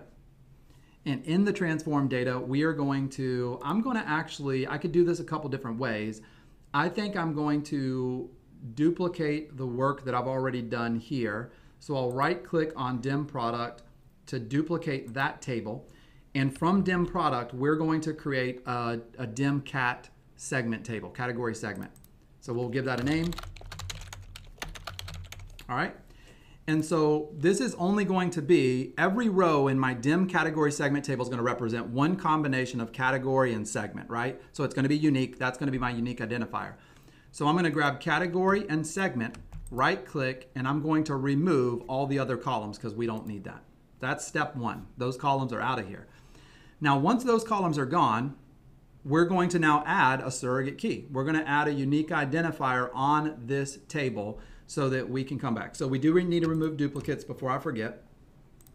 There we go. If you wanted to sort them first alphabetically or what have you, you can sort them before adding your surrogate key. But I'm going to go over to add column, index column from one. We did this before kind of as a precursor to this module earlier in this session today. So now I have my index. That part is awesome. And we're going to call this our uh, I would normally call it something like cat, seg, whatever the name of my dimension is, you know, key or sk or whatever. So I'll call it sk. So now I have my key. Now here's the deal. I need to join this sk back to my product table because the way this is going to look, so we can all be very clear, is you have your category that filters down your product that filters down your sales table. So what key relates your category segment to your product table so that it can filter it down accordingly. Well, it's the surrogate key, but remember our product table don't have the surrogate key. So how do we get that key into the product table? That's what we haven't done yet in this session. So this part is really important. Let's do it together. So I'm going to go back up to the top and I'm going to go over to my product table and I'm going to do a join back to this. So we'll go over to home and we're going to do what's called a merge. A merge is like a VLOOKUP in Excel or a join in SQL we'll do a merge, and I'm going to say merge queries. Now, this is why I've been doing duplicate. If I would have done a reference, it won't let you merge back because it's dependent on that item. So then you get this weird circular dependency issue. But if you duplicate it, you can join back, which is what we needed to do. I'm going to tell it that I want to join from my product table over to my dim cat segment, and we have to join on category and segment in both tables. So what makes a U row unique is the combination of those two. All right, we'll do a left outer is fine. Inner join really would be sufficient here, but we'll do left outer. And then I'm gonna go ahead and click OK. And that's going to, if you've ever done a merge in the Power Query Editor, that's gonna give us a new column here that has a table and we tell it, all right, from that table, return these columns and return these rows of data, right? So that's the next step that we're going to look at here. So now I'll go over to expand and tell it what columns I want to return. I don't need category or segment. We already have that in our table. We don't need that. We only want to bring back the category segment key right there. So then I click OK. And now we have that category segment key in our product table. So this is how you build those dimensions out if you don't already have the ID. Also, as many of you astutely noticed earlier in the class, we need to go in and remove from this table we can now get rid of category and segment because we don't need it here. If I want to filter from category or segment, I filter from my category table. So I can go in here and say, you know what, let's go ahead and right click and remove columns and we're good to go. All is right with the world. Now, we've done that. This is now going to relate over, relate over to our fact budget table which also we need to join it to that one. So this table will also have the key. So we got to do the same exact process again because right now I can't really filter from my dimension to this table because this table does not have that SK there. So now, oh, what is on-demand learning? What a great question. So on-demand learning is recorded classes that we have. We have over 70 recorded classes on our platform on Azure, Power Apps, SQL Server, SSIS, of course, Power BI, data modeling. So it's online learning that you have access to for a full year if you purchase it, and you can go through and watch them as many times as you want over and over again. So that is on demand learning. All right, so we got our fact budget here. I'm gonna do another merge. We're gonna merge our segment table over to this one. And we're gonna join on category and segment so that we can get the key into this table. There we go. We'll click OK. And then I'm going to expand that right there. And we are going to return only the category segment key. That's what we want. And then again, once we get that key in this table, we no longer need the category or the segment, so we can remove it from the table, reducing that redundancy. How did you fix the date issue in the fact budget? Oh, I split it out, Gary. I just did a um, split. So I came up here, split by delimiter, split it out by the space to get rid of the time, and then I was able to convert it to a date. Sorry about that, super quick. All right. I am going to get rid of these two columns right here because we got our key. So that looks great. Right click and remove columns. Beautiful. This gets us where we want. So let's go back and load the data into the data model. Take a look at what we got. And then we still have about another hour that we'll talk about some other concepts that I want to dive into today. So if I hit close and apply, we should have our new DIM category segment table. We'll build the relationships, and then I'll talk about how that relates to another fact table, right? The fact budget table that we brought in as soon as it's done loading here in just a second.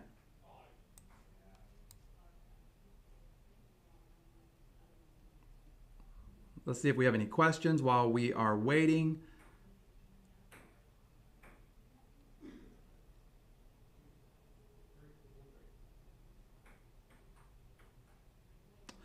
So Steve, that's an interesting question. It's very rare to filter down a DIM table to records that you don't need.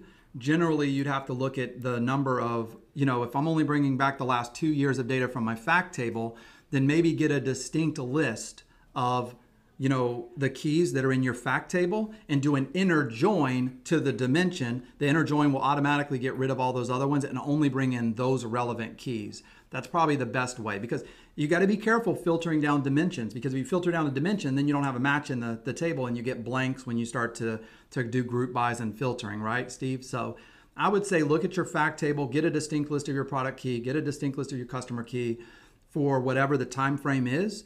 Then you can use that list, do an inner join to the dimension. Inner join, of course, only brings back the rows that match on both sides of the join.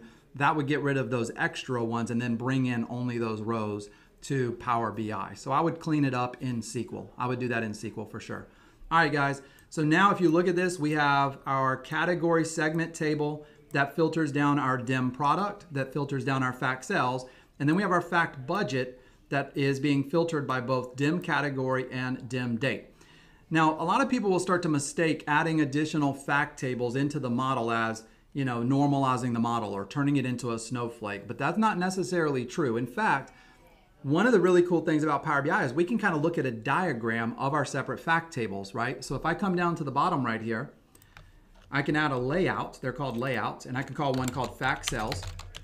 And in this layout right here, I'm going to bring in those relevant tables just so we can, you know, as your model grows, and your model should, if you build it really well from the beginning, it'll grow. You'll have an opportunity to continue growing that model and adding in flexibility, versatility, so on and so forth, right?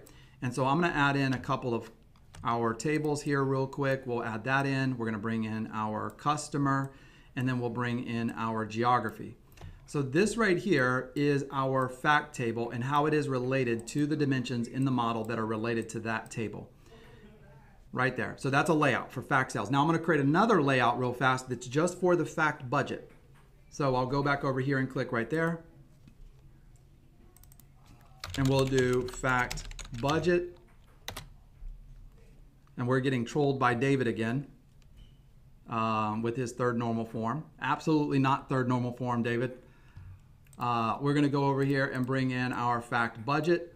And then I'm going to bring in a couple of dimensions. So the dimensions that were related to this was the DIM category segment and the date. I did not change the data model. I did not change the relationships or anything like that. All I did just now was say, this is an easier way to look at the data and understand it, right? So I can understand the relationships that are in my model, which are very important when you get into writing more complicated and more advanced DAX scenarios. Now, what I want, oh, that's cool. Carlton, I didn't know that. I did not know that. Let's test that out. Carlton says, might have to take that, um, how do I remove it from this one? There we go, remove from diagram. If I right click on this, add related tables, there you go. Good job, Carlton. I like it. Good job. All right. So what do I want to do next? I want to show you guys some other things about just data modeling in general that you should be aware of. I'm going to go back over to the uh, report view here. And in the report view, what I want to do in the report view is I want to go ahead and build a couple of very quick measures. Now, by the way, for those of you who are kind of following along and looking at the stuff here, if you pull up the class student files and you look right here, you'll notice that I have the starting file, I have the completed file, and then I have the completed file with DAX. So there are different versions of the files that you can open up and you can look at if you're going back through this at a later time and you're following the recording. All right. So let me go ahead and slide that back over right there. Kevin said classes are out of date. So they're actually, right now, Kevin, we're in the process of updating both the Introduction to Power BI class and multiple other classes. So unlike a lot of other training platforms, we actually do re-record the class. I think Power BI we're re-recording for like the 15th time because the UI does change. Many classes don't necessarily change, right? Like SQL, writing SQL, writing, you know, data modeling. So those don't get updated as often, but the Azure ones and the ones on Power BI, we unfortunately have to update very often. So we have team members doing it. Manuel Quintana, right now this week, is updating the Introduction to Power BI class. All right. So I am going to do what? Create a couple measures. Let's create a couple measures because I want to show you something really, really cool that we can do with our data model inside of Power BI. And this is going to introduce, actually I forgot to add it, but I'm going to add another column in a minute. So let me create, actually, I want to talk about something first. I forgot to add my column. I want to talk about something known as role-playing tables. A lot of companies have role-playing tables, even if you're not quite sure what they are, right? So a role-playing table is where you have a date, maybe a date that you want the date to play the role of the order date, the ship date, or the due date. Or you have an address, and you want the address to play the role of the bill to, the ship to, um, and the invoice to, right? Different, um, maybe geographical locations. And so I build a model and everything in my model is predicated off of the order date. So marketing loves that, sales loves that. But then my manufacturing team or my production team or my shipping team, they come over and they say, Mitchell, I want to see sales and quantity sold and all of that. I want to see it based on the shipping date. And if you know Power BI and you understand the active relationships in the model, you know that the filtering that occurs and the grouping that occurs automatically happens on the active relationship. And our active relationship right now is predicated on the order date, right? So let me fix this and cause a problem that we can then fix. So we're going to cause a problem we can fix. I'm going to go back over to the Home tab, go back into Transform Data, and I'm going to go into my fact table, and we're going to add another column here. In fact, let me let me make this a date first of all, and then I'm going to call this order dates. So this will be the order date, the date that it was purchased, and then I'm going to add a new column on this table inside of M using the M query language. I'm going to write a custom column here. We'll call this one our ship date. And we're just going to hypothesize that every time the ship date is going to be three days after the order date, right? So we'll do something like date.add days. And then let's see what the IntelliSense tells me. I think you have to bring in your order date first and then the number of days. I was hoping IntelliSense was going to help me out here, but no such luck. It looks like that's going to work. Oh, nope, date is not. How's that getting passed? All right, I think that's it. 729, perfect. All right, so I created a table that is a little bit, a column that's a little bit different, right? So 729 is the ship date, order date is 726. So this is going to cause a problem for us. Let's go take a look. This is going to be great. So if I go back over to home, I'm going to do close and apply, load the data again, and then what we're looking at right here, right? If you look at this table, this table is representative of the total sales by the order year, the year that it was ordered, because the relationship in our model is based on the order date. In fact, very important to understand that by going back and looking at it, right? So if I look at my dim date table right here, Oh, wrong one. Sorry about that. We got to go over to our actual fact sales table. If I go over here, you'll see that the relationship is from date to order date. So the filtering occurs on the order date, and that's what I want to take a look at now. So when I'm looking at this right here, I see the relationship. So look at the numbers, right? 10, 5, 95. Now, if I go over to my model and I change my model over to the ship date, because you know they say, hey, we want to see it based on ship date, so I change that over and click OK and I come back over here, is it still 10,595? No, it's not. It's not 10,595. Now the number has changed, and it's changed because now we're filtering on a different column. We're filtering on the date that it shipped, not the date that it was ordered, okay? So how do you get both? How do you get the best of both worlds? I have one team that wants order date, one team that wants due date, one team that wants ship date, one date team that wants invoice date and paid date. How do we get them both to work here? Well, there's a few different ways of handling that. I'm going to show you a really cool method. I have a YouTube video on this. Matt actually has the YouTube videos. And Matt, if you can drop that in the chat window so people can go back and look at that later. And it says I'm out of focus. So let's see if we can, um, how would I even fix that here? That refresh? Hmm. Let me see. I don't want to spend too much time on that. Let me get out of here. Unfortunately, let's go back to full picture in picture. It's still out of focus. Mm. Short of kind of turning it off and turning it back on, which I can't do right now. I'm just going to be out of focus a little bit. So we'll go full because that's aggravating. All right. So what I want to do is let's go ahead and talk about how you would solve this problem, generally speaking. First of all, let's build a couple of very quick measures. For those of you who are following along, again, be aware that following along is not necessarily the, the best option here because I am going to go a little bit faster. But I'm going to create three measures on this table. So I'm going to go and create a new measure that'll be called total sales. So this will be my total sales measure, which is going to equal the sum of my fact sales and then unit price, right? So that'll be the first measure that we create. And we know that that right there represents the total sales from my fact table within the current filter context, which from my date table is the order date, right? So we'll go ahead and give that a format of English United States. There we go. And then I'm going to create another one real quick. So let's create another measure on this table. This is going to be called my total cost. That's going to equal the sum of my fact sales, unit price, unit cost. There we go. We'll do that. And then we'll format that one as well. And then let's build two more quick measures. So the next one's going to be total transactions.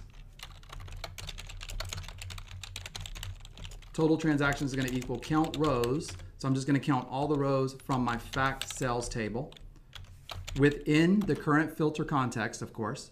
We'll give that a thousand separator. And then just for the heck of it, because everybody loves time intelligence, I'm going to build a year-to-date sales calculation. So we'll build one more measure on this table, and this will be our year-to-date sales.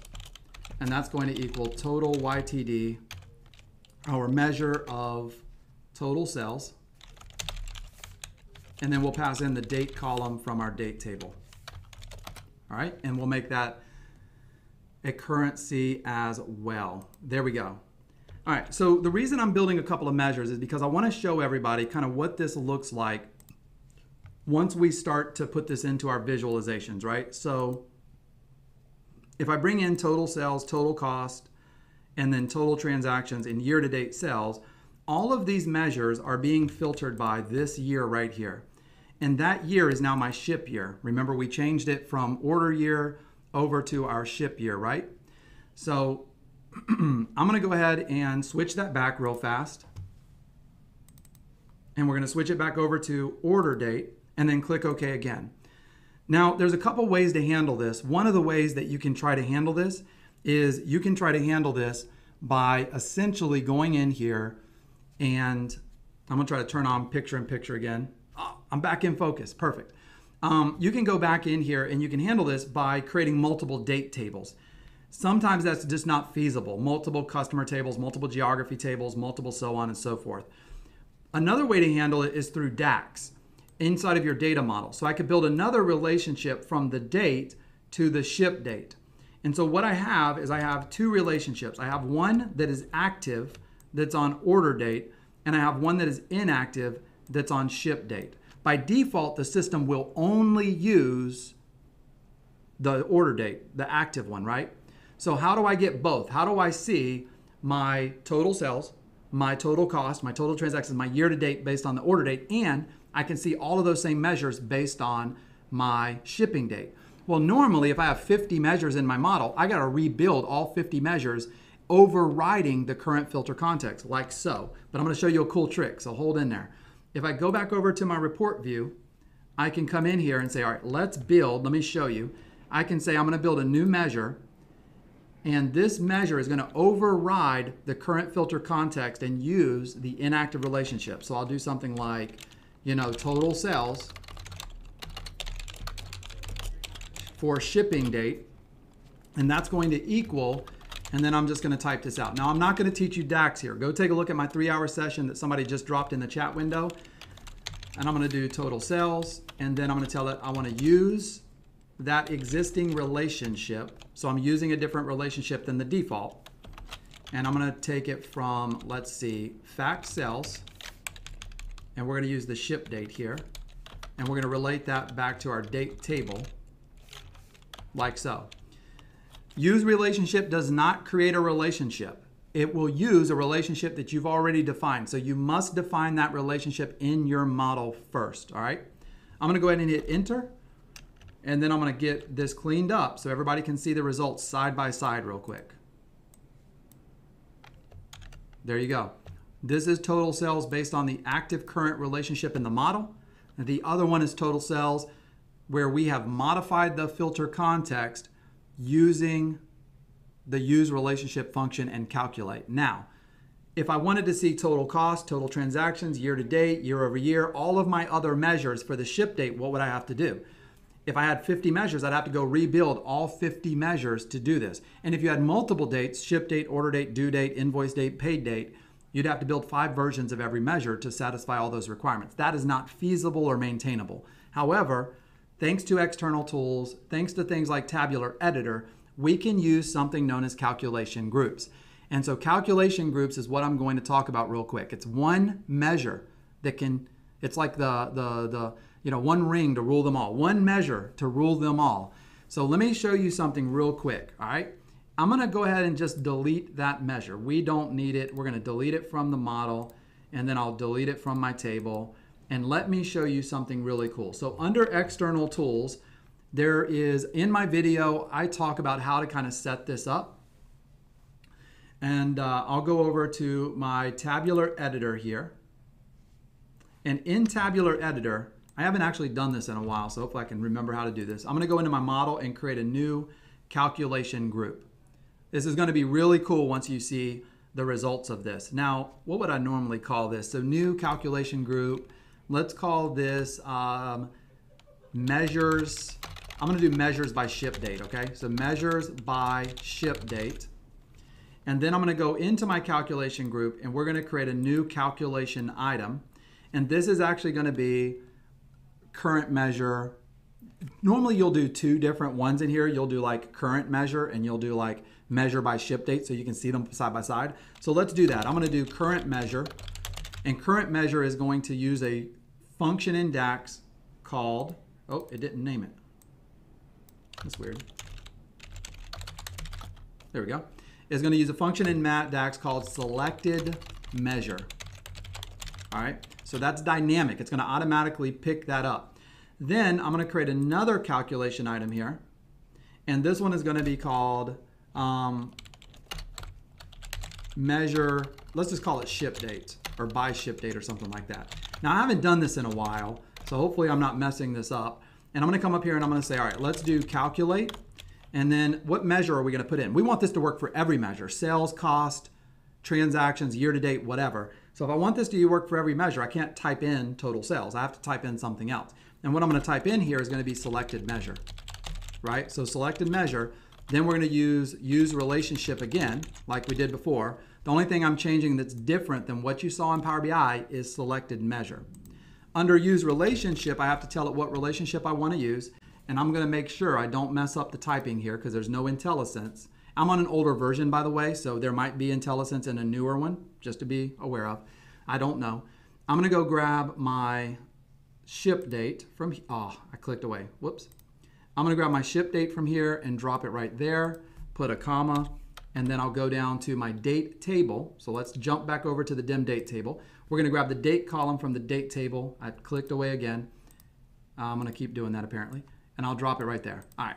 And then I'm going to close it that's going to be one. I need to close it again. That's going to be two. And hopefully that works. So now I'm going to go up to the top and click save. All right, looks pretty good. We're going to hope for the best. So I'm going to minimize this and go away. My model should prompt me here. I'm kind of Kind of odd that it's not prompting me.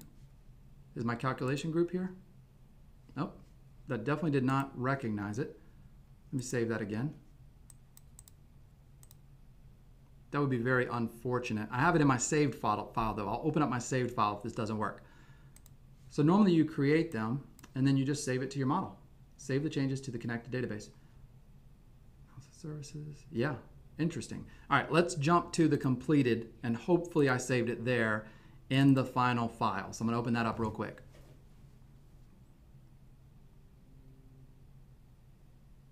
Yeah, I don't know. Let me check the chat, see if you guys are helping me out here.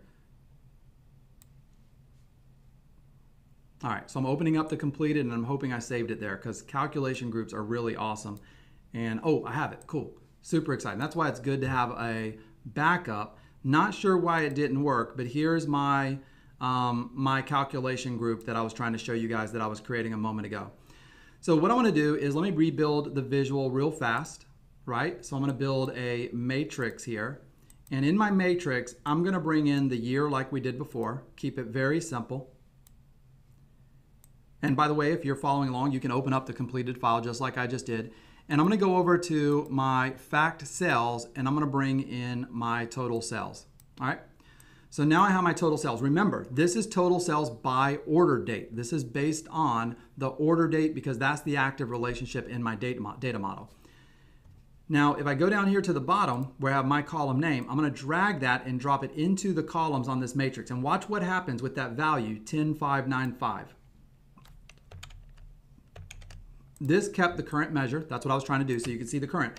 But now I also see the ship date. But here's the cool part. This works for all my measures. So if I bring in total cost, I now have the total cost by the current relationship and by the ship date.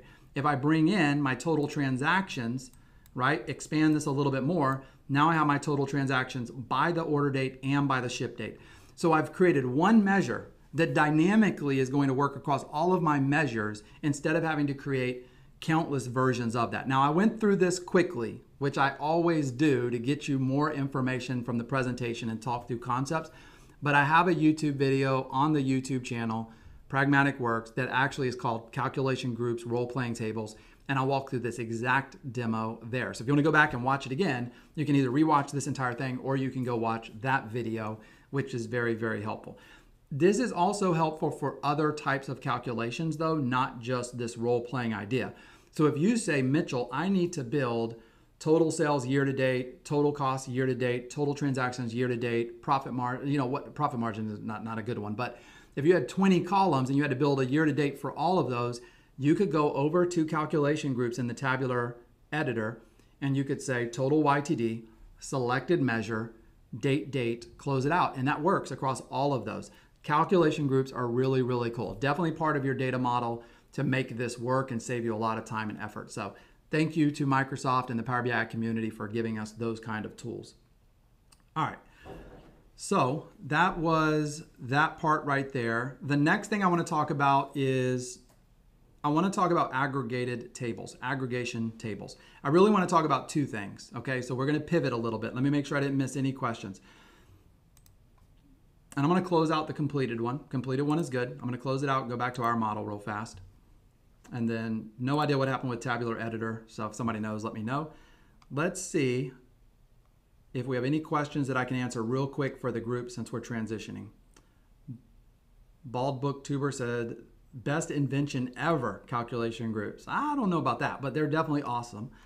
Uh, tabular editor rock says Peter. So really just a lot of great comments and stuff here. So thank you everybody for that. Um, how can I parameterize start and finish dates of the model? Um, so there is a way to, if you want to add filters to your model, that's a good question. Let's take a look at that real fast. If you want to parameterize your model so that I'm only importing data for like the last two years or three years, but you want to be able to change that in the future, you absolutely can do that through something called parameters. And so I'll show a very, very brief example of that, and then uh, we'll switch up to the next section that I wanted to talk about, all right? So if I go into transform data here, and I go to my fact sales, you know that we can add filters, right? And so I could come in here and add a filter that says, hey, only bring back the data that is after 2015 or after 2016. So I can add some filters in here. But we want to make it more dynamic so that we can parameterize it and change it from like the Power BI service. So we publish it to the service and then inside of the Power BI service, when I'm doing a scheduled refresh, I want to be able to change the parameter there, right? You can do that. And that's really a great way to do this. You shouldn't have to go back and open all your Power BI reports to update those parameters. So what I can do is I can say up here at the top that I want to manage parameters. You have to, I think you have to turn this on in your model. And I'm going to tell it that I want to go ahead and manage parameters. And you would normally come in here and create a couple of manage uh, parameters. So click one, click two. I might create one called start date. You might even just call it only start date, and then you just do everything up until that start. Oh, I deleted the wrong one. There we go. Data type, I would do a date and then um, just a selected value. So you put a value in here that would be 1, 1, and let's go with 2013, right? So now I have a parameter that you can modify from outside of the Power Query Editor or outside of Power BI Desktop in general, you can modify it a couple different ways. The primary method is usually from the Power BI service when you refresh this. So this is a question. This is not planned. This is based on your questions in the chat window. So now I can click OK and I can go back over to, I have this parameter that I can change. I can go back to my fact table and say, look, I only want to bring in the data that's after whatever date I specified. So I can go in here and say date filter. I can say after, right? So we're just adding a basic filter and then I can say is after parameter, and there's my start date. And when I click OK, assuming I set it up correctly, we're only going to get data that is after 2013. There's a lot more you can do with this. You can make it dynamic, you can use expressions, but we're just kind of using a parameter And When I publish this to the Power BI service, the service is going to recognize that parameter and you can modify it there. You can change it in the future. So that is hopefully going to answer that question. Now, back on track. What I wanted to cover next, we did the parameters, and then I said I wanted to cover what? What did I say I was going to cover next before I got distracted there? Oh, aggregate. So let me talk about a very important concept when it comes to data modeling.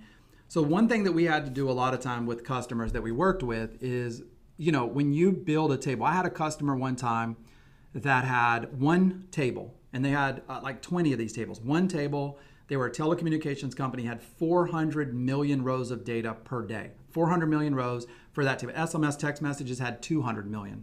All right.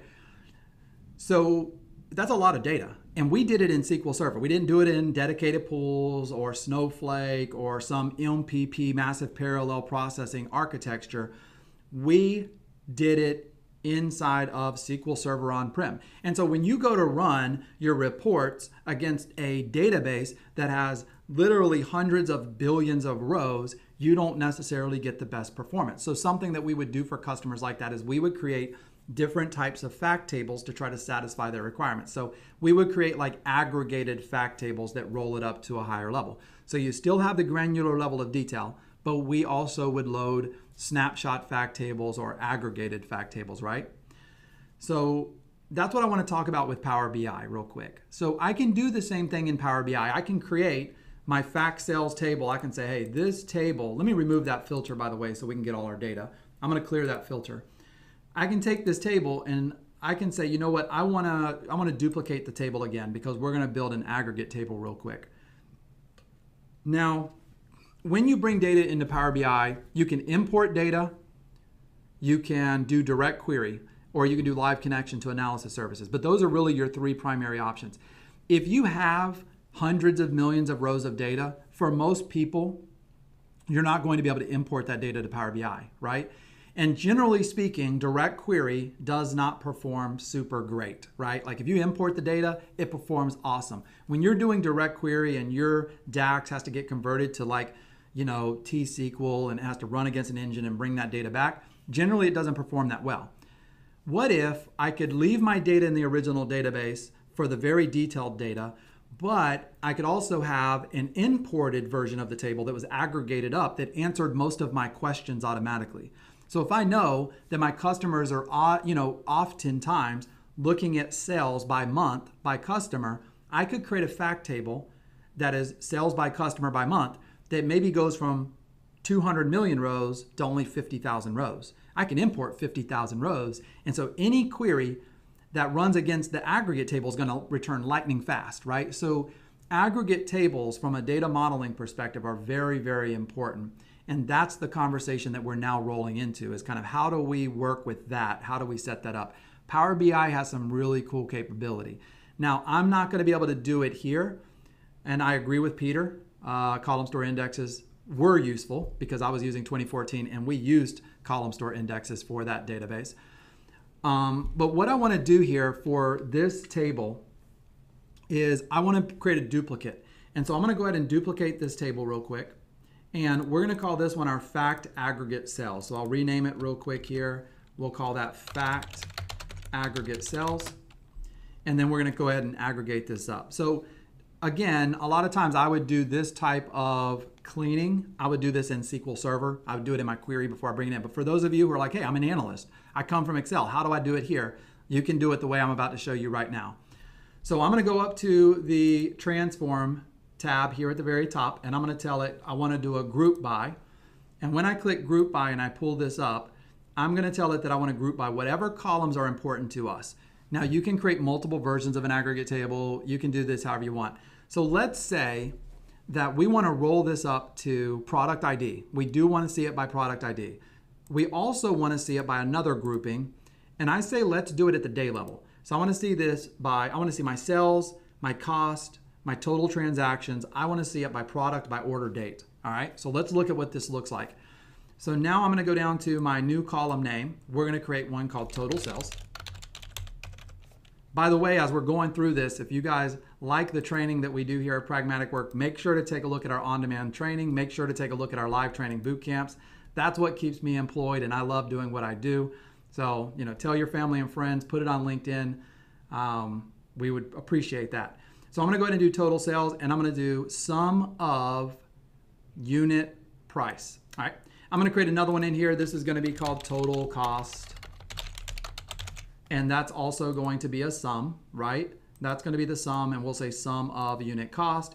And then let's add in a count rows, like a total transaction, like we've done before, right? So we can do a total by day, and that's going to do a count rows on the table. Now this is creating an aggregate table. Remember, the original table had 700,000 rows. We're going to see how many this one has when we load it, but it's going to be significantly less. So that original table, we didn't import the data because we could not, right? It was too much. But the aggregate table we can, and that can significantly improve performance, especially on queries that are only doing a filter by the product ID and the order date. So if we're not going down to the customer level, because we do lose dimensionality, if we have to do a filter on customer, this table won't work. If we have to do a filter on what else was in there, geography, this table won't work, right?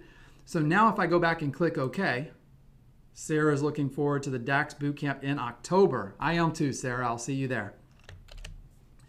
So I'm going to go ahead and run this real quick. Now this aggregated up my data, and here's what you see.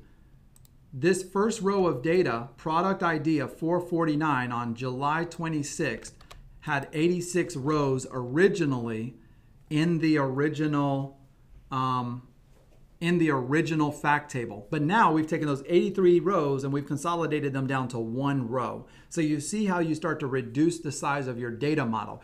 And if you can use these aggregate tables in a very effective manner, again, you can greatly improve performance. So let's let's take a look at this. So I don't have a bad performing model. We're not going to be able to see any great performance tuning tips here, but you get the idea of modeling for success, right?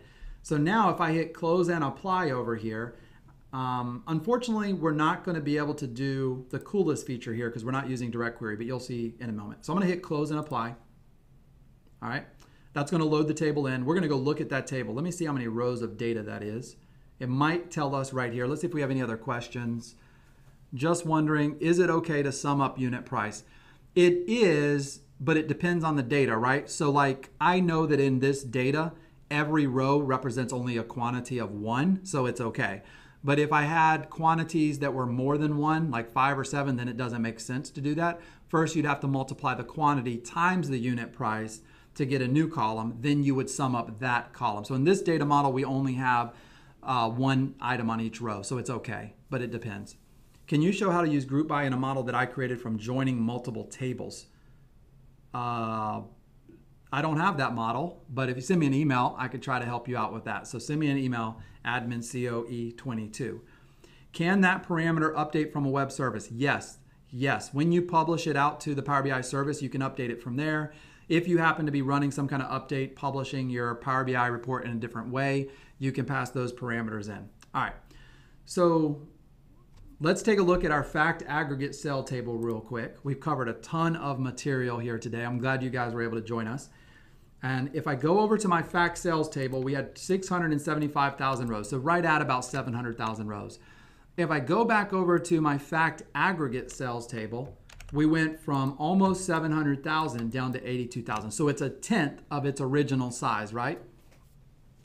So this is a huge reduction in the size of my table.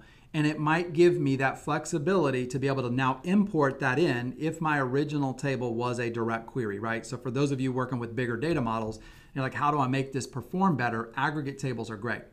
Now, the way my model is designed right now would require me as an end user to know to use one table versus the other, right? If I'm like, hey, I'm in here and I'm trying to build a report right here. Let's say that I was trying to build a report and my report, let me make sure I've built my model. Do I have a relationship in here? I have a relationship on product. That's great. And I need a relationship on order date as well. Let me add that in. All right. So I'm going to come over here and let's update this visualization real quick to be product name. We'll get rid of year. And so we're going to have product name by total sales. Now, let's say that, you know, you can come up here to performance analyzer, turn it on, look at performance. This performance is fine. But let's say performance wasn't that good. Then what I could do is say, all right, I don't want to sum up the sales that's coming from that table that has hundreds of millions of rows, direct query. What I want to do instead is I'm going to remove total sales from this table, go over to my fact aggregate sales, and I'm going to bring in total sales from that table. All right. And so now I have the total sales, and it's going to be a lot faster because it's not having to do a sum operation across hundreds of millions of rows, but only across maybe those 50,000 rows that are imported in my model in memory, ready to go, right? So that can have tremendous improvement in performance by doing that. Now, the problem with this, let's think about this, is that now you have to go to each of your end users and they have to decide themselves when they build a visual which one to use. And maybe today I build this report and it is only filtered by product. But then somebody comes in later and they say, well, I'm going to go grab what like geography. And so I add a slicer in here on country, right? So let's turn that into a slicer. And I click USA and unfortunately it's one country. So let's do let's do something other than country. Let's do state. I click Alaska and it doesn't change. I click Alabama and it doesn't change. And it doesn't change because that fact table has absolutely positively no relationship to my geography. That's a problem because now that causes a lot more work for your end users and you training them. However, however, Power BI has a really cool feature that's available that we can take advantage of. And that feature is called aggregations that are managed by Power BI, right? If you want the presentation slides, guys, email me directly. I'll get them to you. I'll send you the PDF. Apologies for not having that in the class files. I'll drop my email in there for everybody again. All right, I will hook you up. Just let me know. Sorry about that. All right, so what Power BI could do, what if, what if your end user didn't even know that this fact aggregate sales table did not exist, right? They didn't even know it exists. They have no idea. They build their reports like they always do. They go to the original sales table, they bring in the cells from that sales table, right? And then sometimes it performs really awesome and sometimes it doesn't because the engine in the background can figure out and can determine if it should use the aggregate table or if it should use the other table. Power BI can do that. It is phenomenal. This is a really awesome feature. So, the way you set that up, and it's not going to work for me because we're not actually doing direct query or anything like that, is you come over to the left, you go to your report view, and you find the table that you want to be managed by Power BI automatically. So Power BI will automatically decide, should I use that table or should I not, right? And what you do is you'll right click on that aggregate table. There are some requirements to this that are a little bit frustrating you got to make sure that whatever columns are in your aggregate table match exactly the data types that are in the original tables. So if that doesn't match, it won't map up correctly and you'll get kind of some issues with that. Also, I've never really done aggregates when you've imported both tables because it kind of doesn't make sense. I could see where you get a very small possible performance improvement there. But generally, when you're going to be doing this is when your original sources are going to be direct query and you can see tremendous performance gains by doing this. So all of my data is imported into Power BI. So this isn't going to actually let me do this, but I'm going to show you the process anyway, right? So if I come over here and click Manage Aggregations, I'm going to get a screen that looks like this, right? And so what I'll do is say, all right, fact aggregate scales tells that's the right one. Um, for order date and product ID, I already did the group by in the original query and I've already defined the relationship in my model. So since the relationship is defined, I don't have to do anything with those. Just keep that in mind. Then you have to go down to total cost, total sales, and transactions and really duplicate the work that you did before. So I'd come in and I would tell it that I want to do a sum and I'd click here and I'd go down to my fact sales. And in my fact sales, I would tell it I want to sum up my fact sales unit cost. Then I would do the same thing for total sales. I'd say sum, and I would go down to my fact sales, and I'd say sales unit price, and I would sum those up. So with this, the reason it's grayed out, I think the reason it's grayed out is you see right here, it says fact sales. Oh, I actually could not find this in the documentation and I just saw it pop up there. Son of a gun, I can't freeze it. Fact sales must be a direct query table to be used in the detail for an aggregate. In other words, it doesn't support the way I'm currently using it. But if you had left your data in the original database and did a direct query to that, not importing it in, this right here would actually allow you to do this. So I'm showing you the steps, although we, I didn't have time to load all this into like an Azure SQL database before class today. So I can't follow through the full demo, but this is really awesome. And so you do that. Then you come down to total transactions and you tell it, hey, I want to count the table rows. You choose your table. Again, not going to work because it's not direct query. And then when you're done, you click apply all. That will automatically hide the table and then it will automatically hide the columns. Your end user doesn't know it exists, but it will use it automatically. So that's really one of the coolest uh, features there. Oh, Windows Shift S to freeze. I am not going to test that out in the middle of a live presentation because I might be getting trolled, but I will test that out later. I'm writing it down right now. That would be hilarious if I hit that and it just shut everything down. Um, let's look at some questions real quick. I'm going to zoom out. I know I saw a lot of stuff coming in. Sorry I joined late. What are the main difference between Snowflake schema and star schema? Star schema is ideal because we want to keep our model as simple as possible. As the model grows and it grows in complexity and we add more tables, there will be times where we need to add in some snowflakes like we did here, where we actually did have a snowflake in here a little bit with this category segment, but we built that in so we could drill across our fact budget and our fact sales. So now the benefit of that, we didn't really show it, right?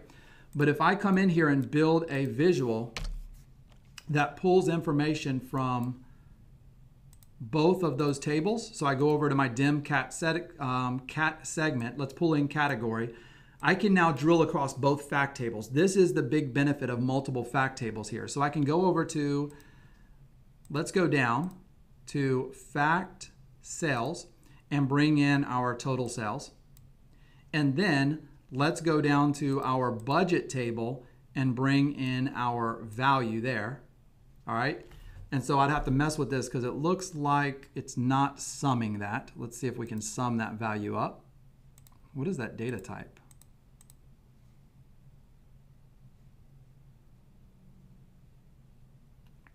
It says it's default to sum. Mm, let me do a real quick Actually, it's not. Yeah, it's duplicating there. Let me do a real quick sum on that. That's interesting. So we're going to create a measure on that real quick to make sure we're doing that. And then let me go verify the relationship again. So we're going from dimcat segment. So that should be good. I want to show you guys the, the drill across functionality. I'm going to verify data types real fast here because they should map. So that is an integer value. And then in my fact budget, that is also an integer value. They are 1 through 10. That is perfect. So we're going to wind up summing up the value and then we'll go with either forecast or budget here. So let's go back. And then I'm going to create a measure real quick so we can kind of look at that and then I'll come back to questions. Fact budget, let's create a measure. And we'll call this one total budget equals, we're going to do the sum. And then the name of the table is fact budget value.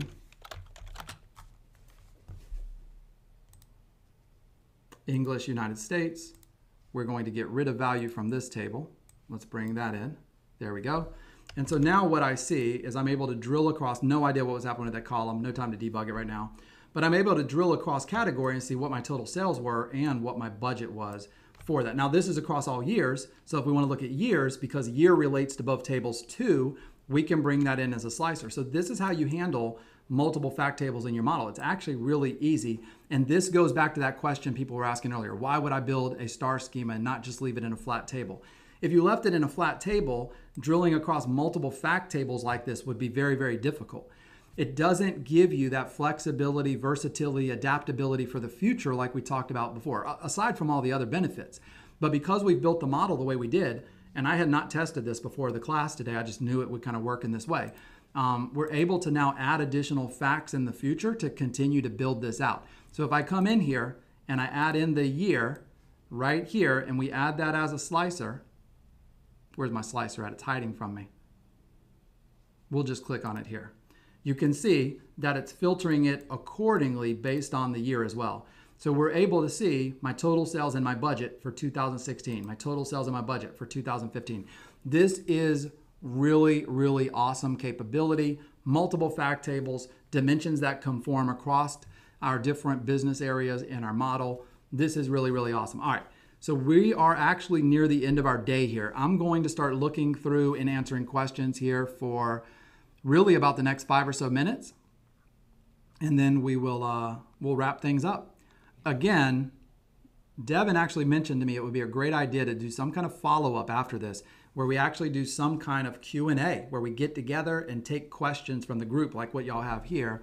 And i think that would be awesome. So keep your ears open for that. Maybe we'll do like a one hour or 30 minute event where you can send in questions and we uh, go through that. I think that would be super cool. All right let's see how do how do how to do a run rate calculation basis month number if it is april selected it should do number times 12 divided by 4. Uh, you'll have to email that to me. I don't quite understand that calculation. You can publish your data model to Power BI online and have others use it as a Power BI dataset. Yes, great point.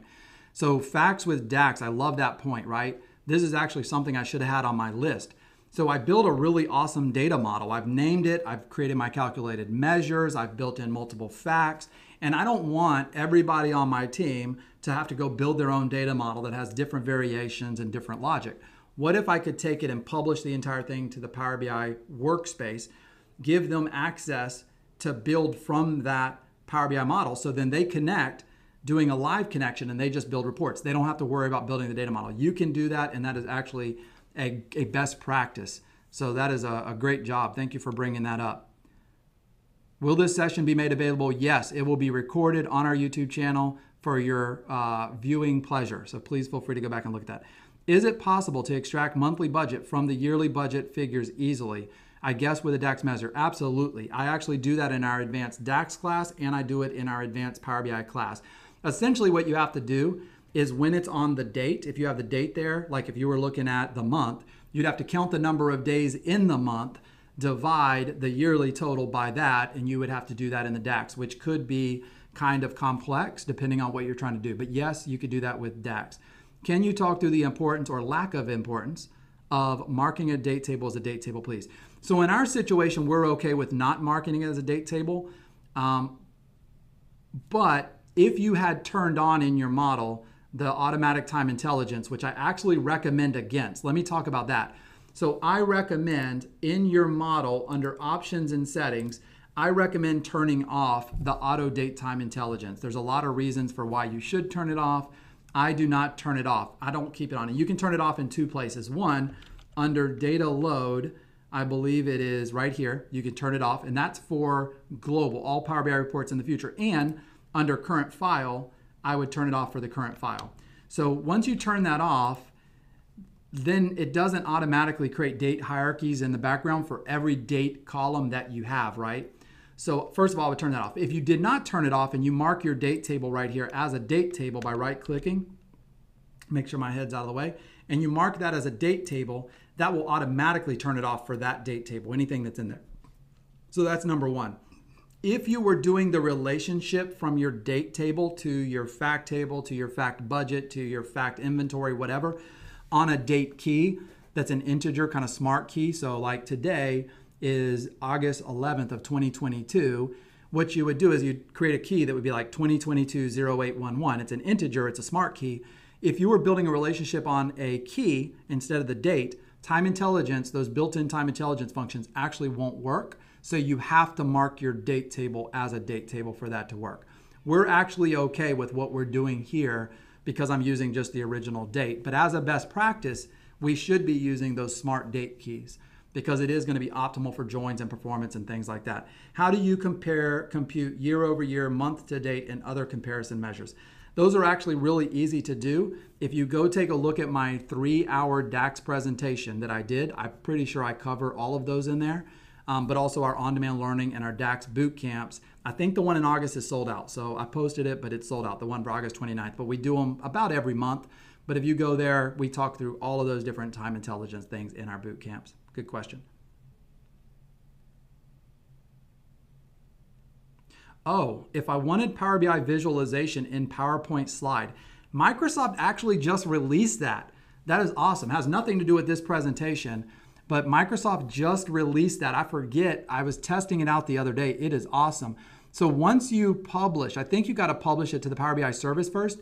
Then you can go up to File in the service and you can say PowerPoint, and it actually will load it into PowerPoint, the live interactive Power BI report, which is incredible. We've been waiting for that for a very long time. That's a great question.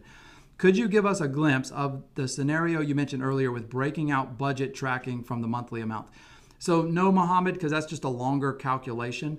Ultimately, what we would do with that, um, and I kind of mentioned it a minute ago, is inside of a table. Let's say I had a table right here. I'll kind of give you the scenario, and this will probably be the last question, and then um, we'll wrap things up for the day. But if I had a table here with the dates in it, and then I had in that table with the dates, let's say my fact sales, where's that at? And I bring that over and drop that right there. If I wanted to be able to look at like my year to date. Let's do year to date. That's even better. Year to date sales. Maybe I want to be able to compare my year to date sales to my year to date budget, right? But my budget isn't at that level. This is a different level of granularity. So then we'd have to write DAX that figures out, hey, you're at 23 days into the year. There's 365 days in the year. Divide 23 by 365 to get a percent. Multiply that percent times the budget that's at the year level. It's at the month level, you would do that calculation. So that's the gist of it, right? At a high level, that's kind of how you would calculate it out. Of course, we're working with varying filter context. So we have to consider all the filters that are applied there. And then somebody said, Mitchell is my favorite. Thank you for that. Your $20 is on the way. You pulled through. I'm just kidding. No 20 bucks for you, but I do appreciate that I'm your favorite. Um, yeah, you might need. Facts with Dax said you might need a um, uh, an add-on. Yeah. All right. Hey, everybody. We're ending a little bit early today, which is okay. We covered a ton of material. It was great. Phenomenal interaction from everybody. A lot of people still on the call two and a half later, hours later, which is crazy. I'm glad you guys learned a lot. Thank you for all of the great feedback. Peter, make sure to send me an email. I'm going to send you that PDF. Uh, it's going to have your name all over it. And then for everybody else, again, we just want to tell you thank you for joining us, and we'll see you next time. Thank you, everybody.